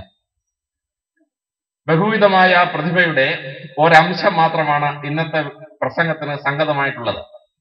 അത് മതസൗഹാർദ്ദവും സമാധാനവും നിലനിർത്താൻ വേണ്ടി പരിസ്ഥിതി പ്രവാചകന്റെ ജീവിതം എങ്ങനെ നമ്മെ സഹായിച്ചു എന്ന ഒരു ആസ്പെക്ടിനെ ആസ്പദമാക്കിയിട്ടാണ് നമുക്ക് ചർച്ച ചെയ്യേണ്ടത്. ഈ വിഷയം സംസാരിക്കുമ്പോൾ പരിസ്ഥിതി പ്രവാചകന്റെ ജീവിതത്തിലുണ്ടായ രണ്ട് മൂന്ന് സംഭവങ്ങൾ എന്റെ ശ്രദ്ധയിലേക്ക് വരുന്നു. ഒരിക്കൽ മനുഷ്യ പ്രവാചകൻ യഹൂദ മതപ്രമാണിമാരോടും ക്രിസ്ത്യൻ മതപ്രമാണിമാരെയും ഒളിമിച്ചിരുത്തി അവരോട് ചർച്ച ചെയ്തുകൊണ്ടിരിക്കുകയായിരുന്നു. അപ്പോഴാണ് വാങ്ക് വിളിച്ചത് പ്രാർത്ഥിക്കാനുള്ള സമയമായി എന്ന അറിയിപ്പ് ലഭിക്കുന്നത്. യഹൂദന്മാരും ക്രിസ്ത്യാനികളും പറഞ്ഞു അങ്ങ് പ്രാർത്ഥിച്ചോളൂ. ഞങ്ങൾ ദേവാലയത്തിൽ നിന്ന് പുറത്തിറങ്ങി എവിടെയെങ്കിലും പോയി വെയിറ്റ് ചെയ്യാം. അങ്ങയുടെ പ്രാർത്ഥന കഴിയുമ്പോഴേക്ക് ഞങ്ങൾ തിരിച്ചു വരാം എന്ന് പറഞ്ഞു. പരസ്യ പ്രവാചകനോടോട് പറഞ്ഞു വേണ്ട. ഞാൻ എന്റേതായ രീതിയിൽ ഈ പള്ളിയിൽ വെച്ച് പ്രാർത്ഥിക്കുന്നു. യഹൂദന്മാരെ നിങ്ങൾക്ക് ഈ പള്ളിയിൽ വെച്ച് തന്നെ പ്രാർത്ഥിക്കാം. ക്രിസ്ത്യാനികളായ നിങ്ങൾക്ക് ആ സമയത്ത് ഈ പള്ളിയിൽ തന്നെ പ്രാർത്ഥിക്കാം. അങ്ങനെ ഒരേ മുസ്ലിം പള്ളിക്കകത്ത് യഹൂദന്മാരും ക്രിസ്ത്യാനികളും മുസ്ലിങ്ങളും ഒരേ സമയം നിസ്കരിച്ചു എന്നുള്ളതാണ്. ഒരാരാധനാലയത്തെ എതിർക്കാതെ ഓരോ ആരാധനയുടെ സ്വാതന്ത്ര്യം കളയാതെ മൂന്ന് ജനവിഭാഗങ്ങൾ ഒരേ മോസ്കിനകത്ത് പ്രാർത്ഥിപ്പിച്ചു പരിശുദ്ധ പ്രവാചകൻ. ആരാധനാ സ്വാതന്ത്ര്യത്തെ പറ്റിയുള്ള വിവിധ മതവിഭാഗങ്ങളെ എങ്ങനെ ഒരുമിച്ച് കൊണ്ടുപോകാനുള്ള വലിയ സന്ദേശം പരസ്യ പ്രവാചകൻ തരുകയാണ്. പരസ്യ പ്രവാചകന്റെ ജീവിതത്തിലെ മറ്റൊരു സംഭവം എന്നെ അത്ഭുതപ്പെടുത്തുന്ന ഒരു സംഭവമാണ്. ഒരു യഹൂദാൻ മരിച്ച് അദ്ദേഹത്തിന്റെ ശവശരീരം കൊണ്ടുപോയിക്കൊണ്ടിരിക്കുകയായിരുന്നു. അങ്ങനെ കൊണ്ടുപോയിക്കൊണ്ടിരിക്കുമ്പോൾ പരസ്യ പ്രവാചകൻ പെട്ടെന്ന് എഴുന്നേറ്റ് ആ ശവശേഷത്തിനടുത്ത് എന്ന് ഉപചാരം അർപ്പിച്ചു. ഇപ്പൊ നിങ്ങൾ ഈ ഉപചാരം അർപ്പിക്കുന്നത് പലപ്പോഴും കണ്ടിട്ടുണ്ടാവും. പോലീസ് വണ്ടി ഇങ്ങനെ പോകുമ്പോൾ ഒരു ശവശരീരം വരികയാണെങ്കിൽ പോലീസ് കൊണ്ട് ഉടനെ നിർത്തും. എസ് ഐ പുറത്തിറങ്ങി ഉപചാരം ഡെഡ് ബോഡിക്ക് ഉപചാരം അർപ്പിക്കും. ഈ പ്രാക്ടീസ് പരസ്യ പ്രവാചകനിൽ നിന്ന് പോലീസിന് കിട്ടിയിട്ടുള്ളതാണ്. പരസ്യ പ്രവാചകന് ചെയ്തപ്പോ അവിടെ ഉണ്ടായിരുന്ന സുഹൃത്തുക്കൾ അദ്ദേഹത്തോട് ചോദിച്ചു അയ്യോ പ്രവാചക ഇതൊരു മുസ്ലിമിന്റെ ശരീരമല്ലല്ലോ ഇതൊരു യഹൂദിന്റെ ശരീരമല്ലേ? എന്ന് ചോദിച്ചു. പരസ്യ പ്രവാചകൻ മറുപടി പറഞ്ഞു അതൊരു മനുഷ്യന്റെ ശരീരമാണ്. ആ ശരീരത്തിന് ഉപചാരം അർപ്പിച്ചിരിക്കേണ്ടതാണ്. അപ്പൊ ലോകത്തിലെ എല്ലാ മനുഷ്യർക്കും മൃത ആയ അവസ്ഥയിൽ പോലും ഉപചാരം അർപ്പിക്കണമെന്ന് പറഞ്ഞ് മതസൗഹാർദ്ദത്തിന്റെ വലിയ പാഠം മാനവികതയുടെ ഹ്യൂമനിസത്തിന്റെ വലിയ പാഠം പരസ്യ പ്രവാചകൻ നിങ്ങളെയും എന്നെയും പഠിപ്പിക്കുകയാണ്. ആ വലിയ മതസൗഹാർദ്ദത്തിന്റെ പാഠങ്ങൾ വളരെ സുന്ദരമായി ലോക ചരിത്രത്തിന്റെ താളുകളിൽ ഇസ്ലാം വരച്ച് കാട്ടിയിട്ടുള്ളതാണ്. ഈസ്റ്റംബുൾ പിടിച്ചടക്കി. അവിടുത്തെ ക്രിസ്ത്യാനികളുടെ വലിയ പള്ളി ഉണ്ടായിരുന്നു ഹാഗിയ സോഫിയ. വേണമെങ്കിൽ മുസ്ലിങ്ങൾക്ക് അത് ഇടിച്ചു നിരത്താമായിരുന്നു. ഇടിച്ചു നിരത്തിയില്ല. ജെറുസലേം മുസ്ലിങ്ങൾ ഭരിച്ചു ആയിരം വർഷം ആയിരത്തി ഇരുന്നൂറ് വർഷം. ആ ജെറുസലേമിൽ ഉണ്ടായിരുന്ന ക്രിസ്ത്യൻ പള്ളികളോ യഹൂദന്മാരുടെ ദേവാലയങ്ങളോ മുസ്ലിങ്ങൾക്ക് ഇടിച്ചു തകർക്കാമായിരുന്നു. ഒറ്റ ദേവാലയം പോലും ജെറുസലേമിൽ തകർക്കപ്പെട്ടില്ല. ഇന്നും ക്രിസ്ത്യാനികൾ ഇവിടെ പോയാൽ തീർത്ഥാടനത്തിന്റെ ഓരോ സ്ഥലവും അവിടെ കാണാൻ പറ്റും. ആയിരത്തി ഇരുന്നൂറ് കൊല്ലം മുസ്ലിങ്ങൾ ഭരിച്ചിരുന്ന ഒരു സ്ഥലം. ഇന്ത്യയിൽ മുസ്ലിങ്ങൾ ഭരിച്ചു പല സംസ്ഥാനങ്ങളും. അവിടെയുള്ള മഹത്തായ ദേവാലയങ്ങളൊക്കെ അങ്ങനെ തന്നെ നിൽക്കുന്നു. പത്തു ആയിരവും കൊല്ലം ഇസ്ലാമിക ഭരണാധികാരികൾ ഭരിച്ചു കഴിഞ്ഞതിന് ശേഷവും നിങ്ങൾ ഫത്തേപൂർ സിക്രിയിൽ പോയി നോക്കൂ. അക്ബറിന്റെ പ്രസിദ്ധമായ ദിവാലിയാവിന്റെ മുമ്പിലാണ് മഹത്തായ ക്ഷേത്രം നിലകൊള്ളുന്നത്. നിങ്ങൾ ശ്രീരംഗപട്ടണത്ത് പോയി നോക്കൂ. ടിപ്പു സുൽത്താന്റെ കൊട്ടാരത്തിന്റെ തൊട്ടു മുമ്പിൽ മഹത്തായ ക്ഷേത്രം നിലകൊള്ളുന്നു. ഇസ്ലാം അതിനെ സംരക്ഷിച്ചു നൂറ്റാണ്ടുകളോളം. മതസൗഹാർദ്ദത്തിന്റെ ആരാധനാലയങ്ങൾ സംരക്ഷിക്കാനുള്ള വലിയ സംരക്ഷണത്തിന്റെ ഒരു പാഠം പരിശുദ്ധ പ്രവാചകൻ ലോകത്തെ പഠിപ്പിക്കുകയാണ്. രണ്ടാമതായി മനുഷ്യന് സമാധാനം ലഭിക്കണമെങ്കിൽ അവൻ ആരോഗ്യപരമായ സമാധാനം ഉണ്ടായിരിക്കണം. രോഗിയായി കഴിഞ്ഞാൽ നമുക്ക് സമാധാനം ഉണ്ടാവുകയില്ല. അപ്പൊ ആരോഗ്യകരമായ ഒരു ജീവിത രീതി അവൻ പഠിക്കണം. അങ്ങനെ അവനെ പഠിപ്പിക്കാൻ വേണ്ടിയുള്ള വലിയ ശ്രമത്തിലാണ് ഇസ്ലാമിന്റെ പ്രസിദ്ധമായ നിയമങ്ങൾ പരിശുദ്ധ ഖുർആൻ രേഖപ്പെടുത്തിയിട്ടുള്ളത്. പരിശുദ്ധ ഖുർആനിൽ രേഖപ്പെടുത്തിയിരിക്കുന്ന പ്രസിദ്ധമായ ഒരു നിയമമുണ്ട്. ഒരു ഭർത്താവ് ഭാര്യയെ ഉപേക്ഷിച്ചാൽ പോലും രണ്ടു വയസ്സുള്ള കുട്ടിയെ കസ്റ്റഡിയിൽ വെച്ച് മുലപ്പാൽ കൊടുക്കാനുള്ള അവകാശം ആ അമ്മയ്ക്കുണ്ട് എന്നും ആ രണ്ടു വർഷക്കാലം അമ്മയുടെയും കുട്ടിയുടെയും ചെലവ് നോക്കേണ്ട ജോലി ആ ഭർത്താവിന്റെതാണ് എന്ന് ഇസ്ലാമിക നിയമം രേഖപ്പെടുത്തി വെച്ചിരിക്കുന്നു. ആധുനിക ഡോക്ടർമാർ പറയുന്നു ഇതിനേക്കാൾ വലിയ ഒരു മെഡിക്കൽ ലോ എഴുതപ്പെട്ടിട്ടില്ല എന്നാണ്. മനുഷ്യന്റെ സെർബറം വളരാൻ വേണ്ടി അവന്റെ decision and description making control ചെയ്യുന്ന ഫ്രണ്ടൽ ലോബിനെ നിയന്ത്രിക്കുന്നതിന് വേണ്ടി വലുതാക്കുന്നതിന് വേണ്ടി ദൈവം മനുഷ്യന്റെ മനുഷ്യ സ്ത്രീയുടെ പാലിനകത്ത് രണ്ട് എൻസൈം അമിനോ ആസിഡ്സ് കൊടുത്തിട്ടുണ്ട്. ഒന്ന് cysteine C Y S T I N E മറ്റേത് taurine T A U R E N E രണ്ട് വയസ്സിൽ അമ്മയുടെ മുലപ്പാൽ കൊടുക്കുന്ന ഒരു കുട്ടി ഉണ്ടെങ്കിൽ ആ കുട്ടി യൂണിവേഴ്സിറ്റി ഫസ്റ്റ് റാങ്ക് ആയിരിക്കും എന്നുള്ള കാര്യത്തിന് യാതൊരു സംശയം വേണ്ട. അമ്മയുടെ മുലപ്പാൽ കൊടുക്കാത്ത ഒരു കുട്ടി ഉണ്ടെങ്കിൽ അവൻ ബുദ്ധുവായ പോകും. യാതൊരു സംശയം വേണ്ട. ഡോക്ടർമാർ പറയുന്നു ഒരു മെഡിക്കൽ വിദ്യാഭ്യാസം വിദ്യാഭ്യാസമില്ലാത്ത പരിശുദ്ധ പ്രവാചകൻ. ഇത്ര സുന്ദരമായ ഒരു മെഡിക്കൽ ലോ എങ്ങനെ പരിശുദ്ധ ഖുറാനിൽ രേഖപ്പെടുത്തിയെന്ന് അത്ഭുതത്തോട് നോക്കുകയാണ്. കുട്ടികൾ ജനിക്കുമ്പോൾ മുതൽ കുട്ടിയുടെ തലച്ചോറ് വളരുന്ന കുട്ടിയുടെ ആരോഗ്യം സംരക്ഷിക്കാനുള്ള അത്ഭുതകരമായ നിയമം ഇസ്ലാം ഉണ്ടാക്കി. അവർ ആരോഗ്യപരമായി ജീവിക്കണമെങ്കിൽ വളരെ ശ്രദ്ധാപൂർവം ഇസ്ലാം നിശ്ചയിച്ചിട്ടുള്ളതാണ് ഇസ്ലാമിന്റെ പ്രാർത്ഥനാ രീതി എന്ന് പറയുന്നത്. നിസ്കാരം എന്ന് പറയുന്ന അതിസുന്ദരമായ ഒരു ആരാധനാ സമ്പ്രദായം ഇസ്ലാം വിശ്വാസികൾക്കായി നൽകി. ആരാധന സമ്പ്രദായം പഠിക്കുന്തോറും നമുക്ക് അത്ഭുതം ഉണ്ടാക്കുന്ന ഒരു ആരാധന സമ്പ്രദായമാണ്. അസ്ട്രോണമേഴ്സ് പറയുന്നു സൂര്യന്റെയും ചന്ദ്രന്റെയും നീക്കങ്ങൾക്ക് അനുസൃതമായി ആണ് ആരാധനയുടെ സമയം ഫിക്സ് ചെയ്തിരിക്കുന്നത്. സൂര്യൻ ഉദിച്ചു സൂര്യനെ കാണാനും വയ്യ സൂര്യരശ്മികൾ കാണാം. പ്രഭാതത്തിൽ ആദ്യത്തെ നമസ്കാരം. ഹൈന്ദവ സഹോദരന്മാർ ആ സമയത്ത് സൂര്യ നമസ്കാരം ചെയ്യും. വളരെ ശാസ്ത്രീയമായിട്ടാണ് നമസ്കാരം. ഉച്ചയ്ക്ക് ഒരു വടി നാട്ടിയാൽ വടിക്ക് നിഴലുണ്ടാകുന്ന അവസരത്തിൽ അടുത്ത നിസ്കാരം. തമിഴിന്റെ നേരെ മുകളിൽ സൂര്യൻ വരുന്ന അവസരത്തിലാണ് ആ നിസ്കാരം വരുന്നത്. വടി നാട്ടിയാൽ വടിയുടെ നീളവും നീളും നീളവും തുല്യമാകുന്ന സമയത്ത് മൂന്നാമത്തെ നിസ്കാരം. അതായത് സൂര്യന്റെ രശ്മികൾ ഫോർട്ടി ഫൈവ് ഡിഗ്രി ആംഗിളിൽ വരുന്ന സമയം. സൂര്യൻ അസ്തമിച്ചു. സൂര്യനെ കാണാൻ വയ്യ സൂര്യരശ്മികൾ കാണാം പ്രസന്ധ്യ. അത് ഹൈന്ദവ സഹോദരന്മാർ രാമരാമ പാഹിമ പാടി ആരാധിക്കുന്ന സമയമാണ്. അവിടെയാണ് അടുത്ത നിസ്കാരം. ചന്ദ്രരശ്മികൾ കൊണ്ട് വടിയുടെ നീളവും നീളുന്ന നീളവും തുല്യമാകുന്ന സമയത്ത് അടുത്ത നിസ്കാരം. സൂര്യന്റെയും ചന്ദ്രന്റെയും നീക്കങ്ങളെ വളരെ ഭംഗിയായി പഠിച്ച ശേഷമാണ് നിസ്കാരത്തിന്റെ സമയം ഇസ്ലാം ഫിക്സ് ചെയ്യുന്നത്. അത് മനുഷ്യന്റെ ബയോളജിക്കൽ ക്ലോക്ക് ടേൺ ചെയ്യുന്ന ടേണിംഗ് പോയിന്റിലാണ് ഈ ഓരോ ആരാ- ആരാധനയും പഠിച്ച പ്രവാചകൻ ഫിക്സ് ചെയ്തിട്ടുള്ളത്. ആ ബയോളജിക്കൽ ക്ലോക്ക് ടേൺ ചെയ്യുന്ന സമയത്ത് ഒരു മനുഷ്യൻ പ്രാർത്ഥിച്ചാൽ അവൻ ആരോഗ്യം സമ്പുഷ്ടമാവുകയും അവന്റെ ശരീരം കൂടുതൽ ആരോഗ്യമുള്ളതായി തീരുകയും ചെയ്യും. എന്ന് ഡോക്ടർമാർ അസന്നിഗ്ധമായി പറയുന്നു. ആ നിസ്കാരത്തിന്റെ ഫോം തന്നെ മുട്ടുകുത്തി നെറ്റി തറയിൽ കൊണ്ടുവന്ന് ഇടിച്ചു കൊണ്ടൊരു നിസ്കാരം. ഇത് അതിസുന്ദരമായ ഒരു മെഡിക്കൽ പ്രാക്ടീസാണ് മനുഷ്യൻ ഇങ്ങനെ നടന്നു പോകുമ്പോൾ ഹൃദയം ഇവിടെയും തല ഇവിടെയുമാണ്. ഹൃദയം പമ്പ് ചെയ്യുമ്പോൾ കുറച്ച് രക്തം മാത്രമേ തലച്ചോറിൽ പോകുന്നുള്ളൂ. ബാക്കിയെല്ലാം കാലിലോട്ടാണ് പോകുന്നത്. മനുഷ്യന്റെ തലച്ചോറ് ബുദ്ധിയായി വർക്ക് ചെയ്യണമെങ്കിൽ അതിനകത്ത് രക്തം കിട്ടണം. ഹൈന്ദവ സഹോദരന്മാരായ ശിവശാസനം എന്ന സുന്ദരമായ ഒരു ഒരു യോഗാസനം കണ്ടുപിടിച്ചു. രാവിലെ ഒരു ശീർഷാസനം കഴിഞ്ഞ മുസ്ലിം സഹോദരന്മാർക്ക് പൈസ പ്രവാചകൻ ഫിക്സ് ചെയ്യുന്നത് വളരെ സുന്ദരമായ നിസ്കാരമാണ്. ഒരു ദിവസം അഞ്ച് നേരം. ഓരോ ദിവസവും അഞ്ച് തവണ. നിസ്കരിക്കുമ്പോൾ മുട്ടുകൂത്തി തല കൊണ്ട് തറയിൽ മുട്ടിക്കുമ്പോൾ ഹൃദയം മേളിലും തല താഴെയുമാണ്. ഹൃദയം പമ്പ് ചെയ്യുന്ന ബ്ലഡിന്റെ ഏറ്റവും കൂടുതൽ തലച്ചോറിലേക്ക് ഇരച്ച് കയറുകയാണ്. ആ മുസ്ലിം നിസ്കരിച്ച് എഴുന്നേൽക്കുമ്പോൾ അവൻ ബുദ്ധി കൂടുതലുള്ളവനായി മാറുന്നു. അപ്പൊ ആരോഗ്യം വളർത്താനും ബുദ്ധി വളർത്താനും പരിസ്ഥ പ്രവാചകൻ എത്ര സുന്ദരമായിട്ടാണ് നിസ്കാരം ഫിക്സ് ചെയ്തിരിക്കുന്നത് എന്ന് ഡോക്ടർമാര് അമ്പരന്ന് പോകുന്ന ഒരു നിസ്കാരമാണ്. മനുഷ്യന്റെ ആരോഗ്യം വർദ്ധിപ്പിക്കണം. അവന് റംസാൻ വ്രതം നിശ്ചയിച്ചു. ആ റംസാൻ വ്രതം നിശ്ചയിച്ചപ്പോൾ അത് വളരെ ആരോഗ്യകരമായ ഒരു സിസ്റ്റത്തിലാണ് ഫിക്സ് ചെയ്തിട്ടുള്ളത്. പന്ത്രണ്ട് മണിക്കൂർ ആഹാരം പൂർണമായി വർദ്ധിച്ചുകൊണ്ടുള്ള ഒരു റംസാൻ നിസ്കാരം. എല്ലാ മതങ്ങൾക്കും നോയമ്പുകളുണ്ട്. ഹിന്ദുക്കൾക്ക് നോയമ്പുകളുണ്ട് ക്രിസ്ത്യാനികൾക്ക് നോയമ്പുണ്ട്. മൂന്ന് നോയമ്പ് എട്ട് നോയമ്പ് പതിനഞ്ച് നോയമ്പ് ഇരുപത്തഞ്ച് നോയമ്പ് അമ്പത് നോയമ്പ് നൂറ്റിമൂന്ന് ദിവസം നോയമ്പുണ്ട്. പക്ഷെ ആ നോയമ്പ് നോക്കുമ്പോൾ എല്ലാ നോയമ്പുകളിലും വെച്ച് ഏറ്റവും ശ്രേഷ്ഠം മുസ്ലിങ്ങളുടെ റംസാന്റെ നോയമ്പാണ് എന്ന് അമേരിക്കൻ ശാസ്ത്രജ്ഞന്മാർ കണ്ടെത്തി. പതിനൊന്നര മണിക്കൂർ ഒരു മനുഷ്യൻ പൂർണമായി പട്ടിണിയിരിക്കുകയാണെങ്കിൽ ഈശ്വരൻ മനുഷ്യന്റെ വയറിനകത്ത് ഒരു ഡിഫൻസീവ് മെക്കാനിസം കൊടുത്തിട്ടുണ്ട്. അവന്റെ പെരിട്ടോണിയത്തിനകത്തുനിന്ന് ഒരു എൻസൈം ഇങ്ങനെ ഊസ് ചെയ്തുകൊണ്ടിരിക്കും. പട്ടിണി കിടന്നൊരു മനുഷ്യൻ മരിക്കാതിരിക്കാൻ വേണ്ടി അവന്റെ ഓട്ടോ ഇമ്മ്യൂൺ സിസ്റ്റം ശക്തിപ്പെടുത്താൻ വേണ്ടി ഈശ്വരൻ ഉണ്ടാക്കി വെച്ച ഒരു അത്ഭുത സിദ്ധിയാണ് ഈ സംഗതി. പതിനൊന്നര മണിക്കൂർ കഴിയുമ്പോൾ പെരിറ്റോണിയം പൊട്ടി എംസൈം അങ്ങോട്ട് ഊർന്നിറങ്ങും.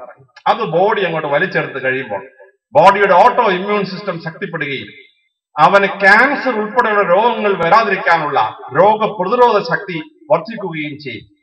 ആയിരത്തി നാനൂറ് വർഷത്തിന് മുമ്പ് ഒരു മെഡിക്കൽ മെഡിസിനും പഠിക്കാത്ത പരിശുദ്ധ പ്രവാചകൻ എത്ര സുന്ദരമായി ഈ നോയമ്പിനെ ഫിക്സ് ചെയ്തു എന്നുള്ളത് അമേരിക്കൻ ശാസ്ത്രജ്ഞന്മാർ പോലും അമ്പരന്നിരിക്കുന്ന ഒരു സംഗതിയാണ്.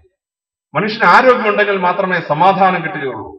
അവൻ ആരോഗ്യം രക്ഷിക്കാൻ വേണ്ടി അവന്റെ പ്രാർത്ഥനയിലും അവന്റെ ജീവിത രീതിയിലും അത്ഭുതാവഹമായ മാറ്റമുണ്ടാക്കി പരിസ്ഥ പ്രവാചകൻ. ആരോഗ്യ രംഗത്ത് അത്ഭുതം സൃഷ്ടിച്ചു പ്രവാചകൻ. മൂന്നാമതായി മനുഷ്യന് സമാധാനം ഉണ്ടാവണമെങ്കിൽ അവന്റെ സാമ്പത്തികമായി അവന് ഭദ്രത ഉണ്ടാവണം. ആ സാമ്പത്തിക ഭദ്രത ഉണ്ടാക്കണമെങ്കിൽ ചില പ്രത്യേകമായ നിയമസംഹിതകൾ ഉണ്ടാക്കണം. പരസ്യ പ്രവാചകൻ ഉണ്ടാക്കിയ നിയമസംഹിത ഇന്ന് ലോകത്തെ അത്ഭുതപ്പെടുത്തുന്ന നിയമസംഹിതയാണ് ലോകത്തിൽ ഒരു ജനസമൂഹത്തിലും സ്ത്രീകൾക്ക് സ്വത്തവകാശം ഉണ്ടായിരുന്നില്ല. സ്ത്രീധനം ചില സ്ഥലത്തുണ്ടായിരുന്നു പക്ഷെ സ്വത്തവകാശം ഉണ്ടായിരുന്നില്ല.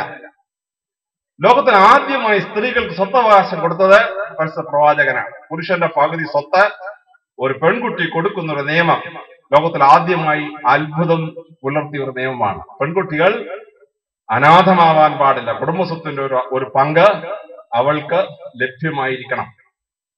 പല വീടുകളിൽ ഭർത്താവ് മരിച്ച് മോനും മരിച്ച് വിധവകൾ അഗതികളായി തീരുന്ന ഒരു സമ്പ്രദായം ലോകത്തുണ്ടായിരുന്നു. അത് ആദ്യമായി ലോകത്തിൽ മാറ്റിയെടുത്തത് പരസ്യ പ്രവാചകനാണ്. മറ്റെല്ലാ മതങ്ങൾക്കും പിതൃസ്വത്തവകാശവും മാതൃസ്വത്തവകാശവും രേഖപ്പെടുത്തിയിട്ടുണ്ട്. ചില സമൂഹങ്ങളിൽ ഭ്രാതൃസ്വത്തവകാശം ലോകത്തിൽ ആദ്യമായി പുത്ര സ്വത്തവകാശം പുത്രൻ മരിച്ചാൽ പുത്രന്റെ സ്വത്തിന് ആറിലൊന്ന് അമ്മയ്ക്ക് ലഭിക്കുന്ന ഒരു നിയമത്തിലൂടെ വിധവകളും നിരാലംബരുമായ ജനങ്ങൾക്ക് സാമ്പത്തിക ഭദ്രത കൊടുത്ത് അവൻ എക്കണോമിക് പീസ് കൊടുക്കാനുള്ള അത്ഭുതകരമായ ഒരു സിസ്റ്റമാണ് ഇസ്ലാം ഡിസൈൻ ചെയ്ത സ്വത്തവകാശ നിയമം എന്ന് പറയുന്നത്. ലോകം പിന്നെയും നൂറ്റാണ്ടുകൾ എടുത്തു. അതിൽ നിന്ന് ഇംപ്രൂവ് ചെയ്യാൻ വേണ്ടി. ലോകത്തിന് അത്ഭുതകരമായ ഒരു എക്കണോമിക് സിസ്റ്റം കൊടുത്തു. പക്ഷെ എനിക്ക് ഏറ്റവും അത്ഭുതം പ്രവാചകന്റെ മറ്റൊരു നിയമമാണ് പലിശക്കെതിരെയുള്ള നിയമം.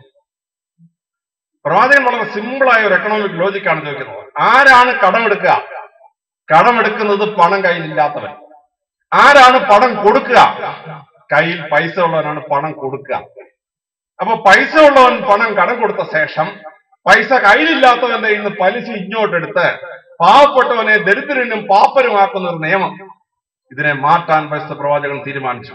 ലോകത്തിൽ ആദ്യമായി പ്രവാചകൻ പലിശക്കെതിരെ നിയമം ഉണ്ടാക്കി. പണം പലിശയ്ക്ക് കൊടുക്കാൻ പാടില്ല. ഇന്ത്യയിലെ ബാങ്കിൽ പൈസ ഇട്ടാൽ പത്ത് ശതമാനം വെച്ച് കുറേയേറെ പൈസ ഉണ്ടാക്കിയെടുക്കാൻ കുറെ കാലം കഴിയുമ്പോൾ പക്ഷേ ഇസ്ലാമിക ബാങ്കിൽ കൊണ്ട് പണം പലിശ കിട്ടാ നൂറ് കൊല്ലം കഴിഞ്ഞാൽ ഇട്ട പൈസ ബാക്കി കിട്ടുള്ളൂ കാര്യം പണം കയ്യിലുള്ളവൻ പണം കയ്യിലില്ലാത്തവനെ കൊള്ളയടിക്കുന്ന പലിശ നിയമത്തെ ഉസൂറി എന്ന് പറയുന്ന നിയമത്തെ പരിപൂർണമായി പ്രവാചകൻ ഇല്ലാതാക്കി. സാമ്പത്തിക സമാധാനം കൊടുക്കുന്ന മനുഷ്യന് സ്വത്തവകാശം കൊടുക്കുന്ന അത്ഭുതകരമായ നിയമം. എന്നാൽ പ്രവാചകന്റെ അതിലും ശക്തമായ ഒരു നിയമം വിവാഹ നിയമത്തിൽ പ്രവാചകൻ ഉണ്ടാക്കിയ ഒരു നിയമമാണ്. ലോകത്തിലെ എല്ലാ ജനതകളിലും പുരുഷൻ വിവാഹം കഴിക്കുമ്പോൾ സ്ത്രീയുടെ കയ്യിൽ നിന്ന് സ്ത്രീധനം വാങ്ങിക്കുന്ന ഒരു സിസ്റ്റം ഉണ്ടായിരുന്നു. പ്രവാചകൻ പറഞ്ഞു സ്ത്രീധനം വാങ്ങിക്കാൻ പാടില്ല. സ്ത്രീയെ വിവാഹം കഴിക്കുമ്പോൾ സ്ത്രീക്ക് അങ്ങോട്ട് മൊഹർ കൊടുത്ത് കല്യാണം കഴിച്ചോളാൻ പറഞ്ഞു. അപ്പോൾ ലോകത്ത് എവിടെയെങ്കിലും പത്ത് പെമ്മക്കളുള്ള ഒരു അമ്മയുണ്ടെങ്കിൽ അവളുടെ കഷ്ടകാലമാണ്. പക്ഷെ അറബി നാട്ടിൽ പത്ത് പെമ്മക്കളുള്ള ഒരു അമ്മയുണ്ടെങ്കിൽ അവൾ അവിടുത്തെ ഏറ്റവും പണക്കാരിയായ സ്ത്രീയായിരുന്നു. കാരണം പത്ത് മൊഹർ അങ്ങോട്ട് വരുന്നു എന്നുള്ളതാണ്. ലോകത്തിൽ എല്ലായിടത്തും സ്ത്രീയുടെ വീട്ടിൽ നിന്ന് പുരുഷന്റെ വീട്ടിലോട്ട് സ്ത്രീധനം ഒഴുകിയെങ്കിൽ പുരുഷന്റെ വീട്ടിൽ നിന്ന് സ്ത്രീയുടെ വീട്ടിലേക്ക് ധനമൊഴുക്കിയ അത്ഭുതകരമായ നിയമമാണ് പരിസ്ഥിതി പ്രവാചകൻ ഉണ്ടാക്കിയ നിയമം. സ്ത്രീകൾ സ്ത്രീധനമില്ലാതെ നിരാലംബരാകുന്ന ഒരു സിസ്റ്റത്തെ പ്രവാചകൻ ഇല്ലാതാക്കി. അത്ഭുതകരമായ എക്കണോമിക് ഫ്രീഡം അല്ലെങ്കിൽ എക്കണോമിക് പീസ് ഉറപ്പാക്കി പ്രവാചകന്റെ അത്ഭുതകരമായ സിസ്റ്റം നാലാമതായി എന്നെ അത്ഭുതപ്പെടുത്തുന്ന സിസ്റ്റം പ്രവാചകൻ ഉണ്ടാക്കിയ സമാധാനത്തിന്റെ മറ്റൊരു മെത്തേഡാണ്. അത് മതനിരപേക്ഷതയുടെ അല്ലെങ്കിൽ എല്ലാ മതങ്ങളെയും തുല്യമായി കാണുന്ന അത്ഭുതകരമായ ഒരു നിയമമായിരുന്നു. പരസ്യ ഖുറാനിൽ മക്കി മദനി എന്ന രണ്ട് ഭാഗങ്ങളുണ്ട്. മക്കി എന്ന് പറഞ്ഞാൽ മക്കിയിൽ പരസ്യ പ്രവാചകൻ ജീവിച്ചിരുന്ന കാലത്ത് ഉണ്ടാക്കിയ നിയമസംഹിതയാണ് മക്കി എന്നറിയപ്പെടുന്നത്. എന്നാൽ മദനി എന്ന് പറയുന്ന നിയമം മദീനായിൽ അദ്ദേഹം ജീവിച്ചിരുന്ന ഏഴു വർഷക്കാലം ലോകത്തിനു വേണ്ടി ഉണ്ടാക്കിയ അത്ഭുതകരമായ നിയമസംഹിതയാണ്. ഈ മദനി എന്ന് പറയുന്ന നിയമസംഹിത സെക്കുലർ ലോയുടെ ലോകത്തിലെ ഏറ്റവും വലിയ എക്സാമ്പിളാണ് യാത്രീബ് എന്ന് പറയുന്ന മരുപ്പച്ചയിൽ മുസ്ലിങ്ങൾ ആയിരത്തി അഞ്ഞൂറ് പേരെ ഉണ്ടായിരുന്നുള്ളൂ എന്നാൽ മുസ്ലിങ്ങൾ അല്ലാത്തവർ പതിനായിരം പേരുണ്ടായിരുന്നു. പതിനായിരം പേർ. അപ്പോൾ പതിനോരായിരത്തി അഞ്ഞൂറ് പേരുള്ള എന്ന് പറയുന്ന ഗ്രാമത്തിൽ മുസ്ലിങ്ങൾ ആയിരത്തി അഞ്ഞൂറ് അമുസ്ലിങ്ങൾ പതിനായിരവുമായിരുന്ന സമ്പ്രദായത്തിൽ അവർക്കൊരു ഭരണ യന്ത്രം ഉണ്ടാക്കി പ്രസ്ത പ്രവാചകൻ. അത് സെക്കുലറായ ഒരു ഭരണ സമ്പ്രദായം ആയിരുന്നു. പ്രവാചകൻ ഉണ്ടാക്കിയ വലിയ ഭരണ ആ ഭരണ സമ്പ്രദായം ഇന്ത്യയിലേക്ക് വന്നു കേരളത്തിൽ വന്നു. നമ്മൾ ഇന്ന് റവന്യൂ ഡിപ്പാർട്ട്മെന്റിലും ഭരണ സമ്പ്രദായത്തിൽ ഉപയോഗിക്കുന്ന പല വാക്കുകളും അറബി വാക്കുകളാണ്. തഹസീൽദാർ നമ്മളിപ്പോ പറഞ്ഞാൽ അത് അറബി വാക്കാണ്. ഹസാല എന്ന് പറഞ്ഞാൽ അറബി ഭാഷയിൽ കളക്ട് എന്നർത്ഥം. ഹസാലദാർ കരം പിരിക്കുന്നവൻ എന്ന അർത്ഥത്തിൽ ആ വാക്കുണ്ടായി. പോലീസിന്റെ അധിപനെ വിളിച്ചിരുന്ന പേര് അമിനാദാർ സൂപ്രണ്ട് പോലീസ് തത്തുല്യമായ പോസ്റ്റ് അറബി വാക്കാണ് ആമീൻ എന്ന് പറഞ്ഞാൽ പ്രൊട്ടക്ഷൻ അമിനാദാർ എന്ന് പറഞ്ഞാൽ സുരക്ഷ ഉറപ്പാക്കുന്ന ഉദ്യോഗസ്ഥൻ എന്നർത്ഥം.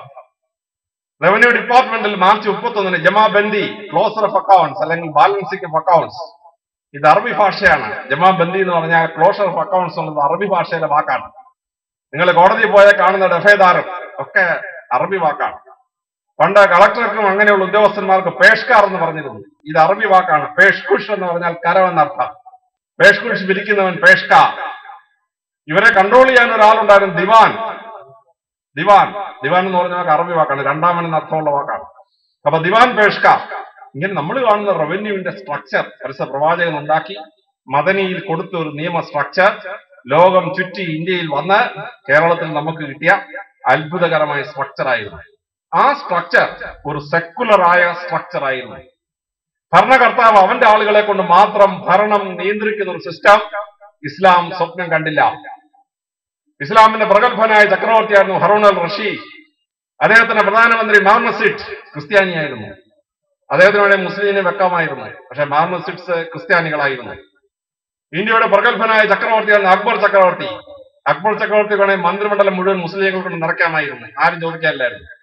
പക്ഷെ അക്ബറിന്റെ പ്രധാനമന്ത്രി ബീർബൽ ബ്രാഹ്മണനായിരുന്നു. അക്ബറിന്റെ റവന്യൂ മിനിസ്റ്റർ രാജാ തോണ്ടർമാൽ അദ്ദേഹം ഒരു കായസ്ഥനായിരുന്നു.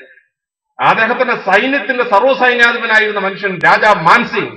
അദ്ദേഹം ഒരു ഒരു ഒരു പഞ്ചാബി അല്ലെങ്കിൽ ഒരു രജപുത്രനായിരുന്നു രജപുത്രനായിരുന്നു. പ്രധാനമന്ത്രി പദവും റവന്യൂ മന്ത്രി പദവും സർവസൈന്യാധിപ സ്ഥാനവും ഉൾപ്പെടെ അക്ബറിന്റെ മന്ത്രിസഭയിൽ മുസ്ലിങ്ങൾക്കല്ലായിരുന്നു ഭൂരിപക്ഷം. അക്ബറിന്റെ മന്ത്രിസഭയിൽ ബഹുഭൂരിപക്ഷവും അമുസ്ലിങ്ങളായിരുന്നു. ഹിന്ദുക്കൾക്കായിരുന്നു അതിൽ ഭൂരിപക്ഷം. അതാണ് ഇസ്ലാമിന്റെ സെക്കുലർ ലോ എന്ന് പറയുന്നത്. ടിപ്പു സുൽത്താനെ പറ്റി ബ്രിട്ടീഷുകാർ ഒരുപാട് കുറ്റങ്ങൾ പറഞ്ഞുണ്ടാക്കി. ടിപ്പു സുൽത്താൻ മൈസൂരിൽ ഒരുപാട് ക്ഷേത്രങ്ങൾക്ക് സ്വർണ താഴികക്കൂടം കൊടുത്തു. കേരളത്തിലെ ഒമ്പതോളം ക്ഷേത്രങ്ങൾക്ക് ടിപ്പു സുൽത്താൻ സംഭാവന കൊടുത്തായിട്ട് റെക്കോർഡുണ്ട്. അദ്ദേഹത്തിന്റെ പ്രധാനമന്ത്രി മുസ്ലിം അല്ല. ടിപ്പു സുൽത്താന്റെ പ്രധാനമന്ത്രി പൂർണയ്യ ബ്രാഹ്മണനായിരുന്നു. അപ്പൊ ഇന്ത്യയിലെ ഇസ്ലാമിലെ ഭരണാധികാരികൾ ഉൾപ്പെടെ ലോകത്തിലെ ഇസ്ലാമിക ഭരണാധികാരികൾ ഉൾപ്പെടെ അവരുടെ മന്ത്രിമണ്ഡലത്തിൽ മുസ്ലിങ്ങൾ അല്ലാത്തവരെ ഉറപ്പിച്ച് ഒരു സെക്കുലർ അഡ്മിനിസ്ട്രേഷൻ ഉണ്ടാക്കി. അതാണ് ഇസ്ലാമിന്റെ മദനി നിയമത്തിൽ ഉണ്ടാക്കിയ വളരെ നല്ല ഒരു സെക്കുലർ ലോ എന്ന് പറയുന്നത്. ഇനി ആ സെക്കുലർ ലോയ്ക്ക് അപ്പുറത്തായി വളരെ ശ്രദ്ധേയമായി ഇസ്ലാമിന്റെ പ്രസിദ്ധ പ്രവാചകൻ ഉണ്ടാക്കിയ മറ്റൊരു വലിയ നിയമം സോഷ്യലിസത്തിന്റെതായ ഒരു തത്വമാണ്.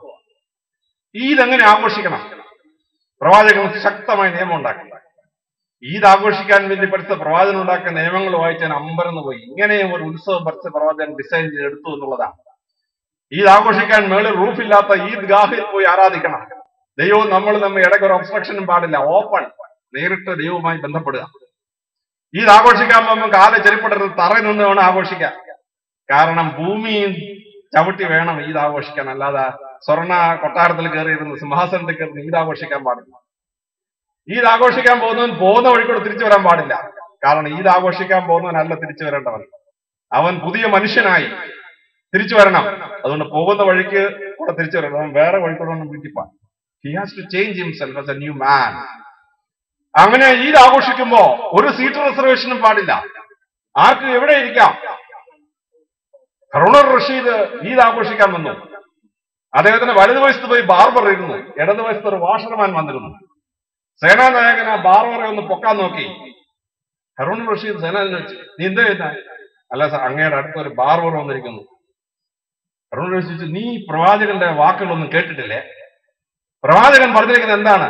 പ്രവാചകൻ പറഞ്ഞ ഈദ് ആഘോഷിക്കുമ്പോ ചക്രവർത്തിയും ഇല്ല ചീഫ് സെക്രട്ടറിയും ഇല്ല ചീഫ് മിനിസ്റ്ററും ഇല്ല ബാർബറും ഇല്ല വാഷർമാനും ഇല്ല എല്ലാവരും തുല്യരാണ്.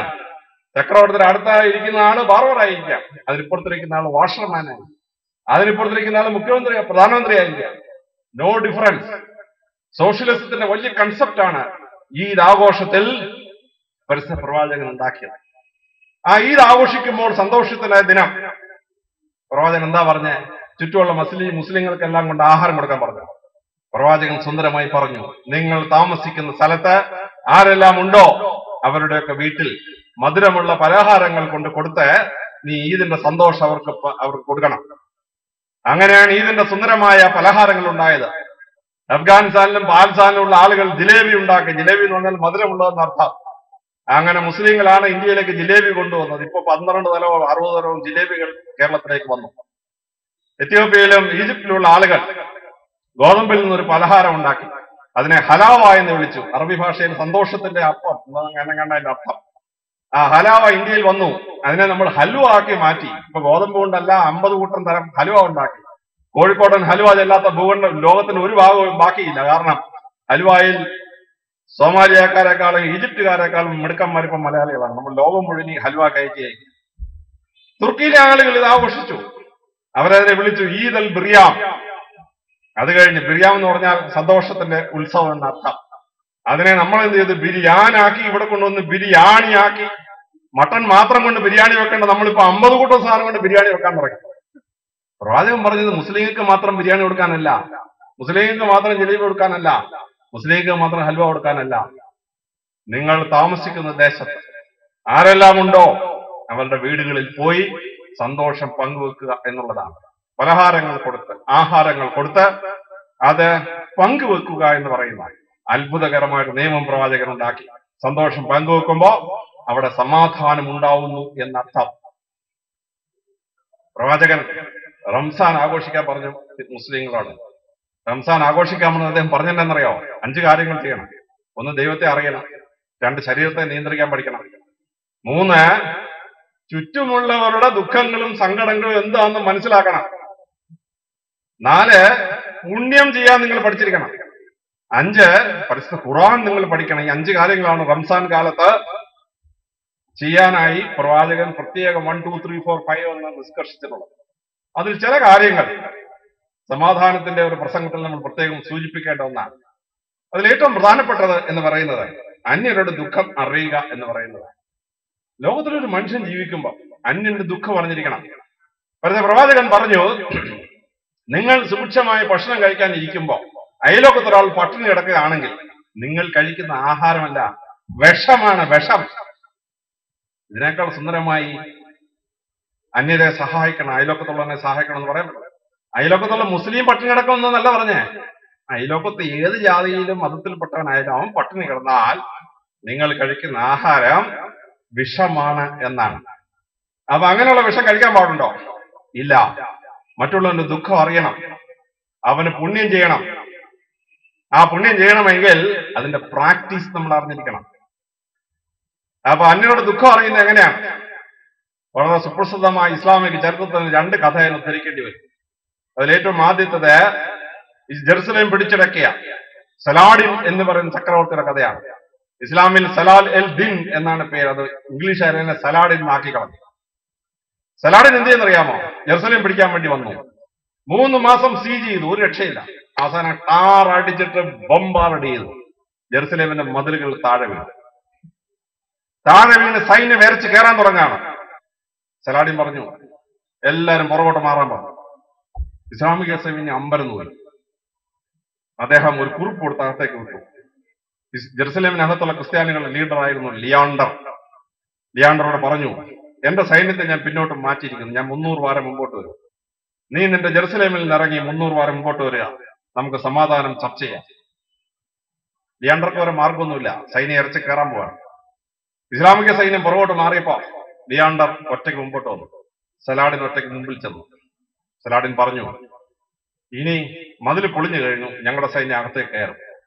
കയറി കഴിഞ്ഞാൽ കുട്ടികൾ കൊല്ലപ്പെട്ടേക്കാം സ്ത്രീകൾ കൊല്ലപ്പെട്ടേക്കാം കൊള്ള എന്ന് നടന്നേക്കാം എന്റെ നിയന്ത്രണത്തിൽ ആ സമയത്ത് ചിലക്ക് സമ്മതം നിന്നില്ലാന്നിരിക്കും ഞങ്ങൾക്കൊറ്റ ലക്ഷ്യമുള്ളൂ ജെറുസലേം ഞങ്ങൾക്ക് പിടിക്കണം. ഒരു സ്ത്രീയെ ഒരു കുട്ടിയെ ഒരു മനുഷ്യനും ദുഃഖം ഉണ്ടാക്കാൻ ഞങ്ങൾ ആഗ്രഹിക്കുന്നില്ല. അതുകൊണ്ട് ലിയാണ്ടർ നീ നിന്റെ സ്ത്രീകളെയും കുട്ടികളെയും സ്വർണത്തെയും ഒക്കെ എടുത്തിട്ട് ക്രിസ്ത്യാനികൾക്ക് ഭൂരിപക്ഷമുള്ള സ്ഥലത്തേക്ക് പോയിക്കൊള്ളുക. ലിയാണ്ടർ ചോദിച്ചു ഞങ്ങൾ ഇങ്ങനെ പുറത്തു വരുമ്പോ ഇസ്ലാമിക സൈന്യം ആക്രമിച്ചാലോ? സലാഡിൻ പറഞ്ഞു സലാഡിനാണ് പറഞ്ഞതെന്ന് നിങ്ങൾ മനസ്സിലാക്കണം സലാഡിനാണ് പറഞ്ഞത്. ഇസ്ലാമിന്റെ ചരിത്രത്തിന്റെ പാഠം പഠിച്ചുകൊണ്ട് ഞാൻ പറയുന്നത്. നിങ്ങൾ പൊക്കോളാൻ പറ അവർ പുറത്തിറങ്ങാൻ തുടങ്ങി. മുമ്പോട്ട് പോയപ്പോൾ റിച്ചാർഡ് ദ ലയൺ ഹാർട്ടഡ് എത്തി. റിച്ചാർഡ് ലയൺ ഹാർട്ട് പറഞ്ഞു നിങ്ങളെ സഹായിക്കാൻ വേണ്ടി ക്രിസ്ത്യൻ സൈന്യം യൂറോപ്പിൽ നിന്ന് വന്നിരിക്കുകയാണ്. നിങ്ങൾ തിരിച്ചു വരണം. ലിയാണ്ടർ പറഞ്ഞു ഞാൻ ഞാൻ തിരിച്ചു വരികയില്ല. സലാഡിന് എനിക്കൊരു വാക്ക് തന്നു. ഞാൻ ആ വാക്ക് പാലിക്കുന്നു. സലാഡിൻ പറഞ്ഞു പരസ്യ പ്രവാചകൻ ഞങ്ങളെ പഠിപ്പിച്ചിട്ടുണ്ട്. അനാവശ്യമായ ഒരു കുഞ്ഞിന്റെ കണ്ണീർ വീഴാൻ പാടില്ല. അനാവശ്യമായ ഒരു സ്ത്രീക്ക് അപകടം ഉണ്ടാവാൻ പാടില്ല. അനാവശ്യമായി ഒരാളുടെയും രക്തം വീഴാൻ പാടില്ല. ഇതാണ് ഇസ്ലാം. അതുകൊണ്ട് ജെറുസലേമിലെ ഒരു മനുഷ്യന് പോലും അപകടം ഉണ്ടാകാൻ ആഗ്രഹിക്കുന്നില്ല. ലിയാണ്ടർ സലാഡിനോട് ചോദ്യം ചോദിച്ചു. നൂറ് വർഷം മുമ്പ് ക്രിസ്ത്യാനികൾ ഈ ജെറുസലേം പിടിച്ചപ്പോ എന്താ സംഭവിച്ചത് അങ്ങേക്ക് അറിയാമോ സലാഡിൻ പറഞ്ഞു എനിക്കറിയാം. ഒറ്റ മുസ്ലിം ബാക്കിയില്ലാതെ ക്രിസ്ത്യൻ സൈന്യം മുസ്ലിങ്ങളെ കൊന്നൊടുക്കി. ആ ചരിത്രം എനിക്കറിയാം. എന്നാലും അങ്ങ് ഈ വാക്ക് തരുന്നുണ്ടോ? സലാഡിൻ പറഞ്ഞു അതാണ് പ്രവാചകൻ ഞങ്ങളെ പഠിപ്പിച്ച വിശ്വ സാഹോദര്യം. ഒറ്റ ആൾക്കും പരിക്കുണ്ടാവില്ല. ഡിയാണ്ടർ മുഴുവൻ ക്രിസ്ത്യാനികളും സുരക്ഷിത സ്ഥാനത്തേക്ക് പോവുകയും സലാഡിൻ ജെറുസലേം പിടിക്കുകയും ചെയ്തു. ആ സലാഡിൻ മരിക്കാൻ കിടക്കുകയാണ് eleven hundred and ninety four A D Saladin അദ്ദേഹത്തിന്റെ ധനകാര്യം ധനകാര്യം ഡോക്ടറെ വിളിച്ചു. ഡോക്ടറോട് ചോദിച്ചു ഞാൻ എത്ര ദിവസം ജീവിച്ചിരിക്കും? ഡോക്ടർ പറഞ്ഞു രാജാവിനോട് മരണസമയം പറഞ്ഞാൽ ഡോക്ടറുടെ തല ബാക്കി ഉണ്ടാവില്ലെന്ന് അങ്ങേക്ക് അറിഞ്ഞൂടെ? സലാഡിൻ പറഞ്ഞു എല്ലാവരും പുറത്തിറക്കാൻ പറഞ്ഞു വാതിലടച്ചു. ഡോക്ടറോട് പറഞ്ഞു സത്യം പറഞ്ഞോളൂ ഒരു കുഴപ്പമുണ്ടല്ലെന്ന് ഡോക്ടർ പറഞ്ഞു ഏഴ് ദിവസത്തിൽ കൂടുതൽ നിങ്ങൾ ജീവിച്ചിരിക്കില്ല എന്നാണ് ഞങ്ങളുടെ വൈദ്യശാസ്ത്രം പറയുന്നത്. സലാഡിൻ വാതിലുകൾ തുറന്നു ഡോക്ടറോട് ഇനി പൊക്കോളാൻ പറഞ്ഞു. ധനകാര്യമന്ത്രി വിളിച്ചു ട്രഷറിയിൽ എന്തെല്ലാം സ്വർണോ വെള്ളിയോ കൊണ്ടുവരാൻ കൊണ്ടുവരാൻ പറഞ്ഞു? എന്റെ സ്വത്തുവകകൾ എത്ര ഏക്കർ ഭൂമിയുണ്ട്? കണക്കെടുക്കാൻ പറഞ്ഞു. എന്നിട്ട് അദ്ദേഹം പെരുമ്പറയടിച്ച് നാട് മുഖേന വിളിച്ചു. ദാരിദ്ര്യമുള്ളവർ ദുഃഖമുള്ളവർ പ്രയാസമുള്ളവർ ആരൊക്കെ ഉണ്ടോ? അവർ മുഴുവൻ എന്റെ കൊട്ടാരത്തിന് മുമ്പിൽ നിരന്ന് വരാൻ പറഞ്ഞു. മുസ്ലിങ്ങൾ മൊത്തം വരാനുള്ള ചെലാടി പറഞ്ഞു. ആ നാട്ടിലെ ക്രിസ്ത്യാനികളും മുസ്ലിങ്ങളും എല്ലാം ഉൾപ്പെട്ട ജനവിഭാഗം ആരുണ്ടെങ്കിലും വന്നോളാൻ പറഞ്ഞു. സലാഡിൻ വന്നവരെ ക്യൂ നിർത്തി. വളരെ ഡിസിപ്ലിൻഡ് ആയ ഒരു ക്യൂ. ബിവറേജ് കോർപ്പറേഷൻ മുമ്പിൽ നിൽക്കുന്ന ഒരു ഉഗ്രൻ ഒരു ക്യൂ. നിഷ്പക്ഷമായ ക്യൂ ആണ്. അദ്ദേഹം വന്നവർക്കെല്ലാം ഒരു സ്വർണ നാണയം കൊടുത്തു. വന്നവർക്കെല്ലാം നാൽപ്പത് വെള്ളി നാണയം കൊടുത്തു. ഭൂമി ഇല്ല എന്ന് പറഞ്ഞവൻ എല്ലാം കൊടുത്തു നാലേക്കർ ഭൂമി. സർവർക്കും ഒരു സ്വർണ നാണയവും നാൽപ്പത് വെള്ളി നാണയവും സ്വത്തുക്കളും കൊടുത്ത ശേഷം ജനക്കൂട്ടമെല്ലാം പിരിഞ്ഞുപോയി അദ്ദേഹം ആഭ്യന്തര ധനകാര്യമന്ത്രിയോട് ചോദിച്ചു ട്രഷറിയിൽ ഇനി എന്തെങ്കിലും ബാക്കിയുണ്ടോ? എന്ന് ചോദിച്ചു. അദ്ദേഹം പറഞ്ഞു ഒന്നും ബാക്കിയില്ല എല്ലാം തീർന്നു അദ്ദേഹം ചോദിച്ചു എന്നാലും സലാഡിൻ എന്തിനാണ് ഇങ്ങനെ ചെയ്തതെന്ന് അങ്ങൊന്ന് പറഞ്ഞുതരാമോ എന്ന് ചോദിച്ചു. അദ്ദേഹം പറഞ്ഞു പരസ്യ പ്രവാചകൻ ഞങ്ങളെ പഠിപ്പിച്ചിട്ടുണ്ടൊരു കാര്യം. എന്താണെന്നറിയാമോ ഞാൻ ഒന്നുമില്ലാതെ ഈ ഭൂമിയിൽ ജനിച്ചു നഗ്നനായി ജനിച്ചു. എനിക്ക് സ്വർണമില്ലായിരുന്നു വെള്ളിയില്ലായിരുന്നു ഭൂമിയില്ലായിരുന്നു.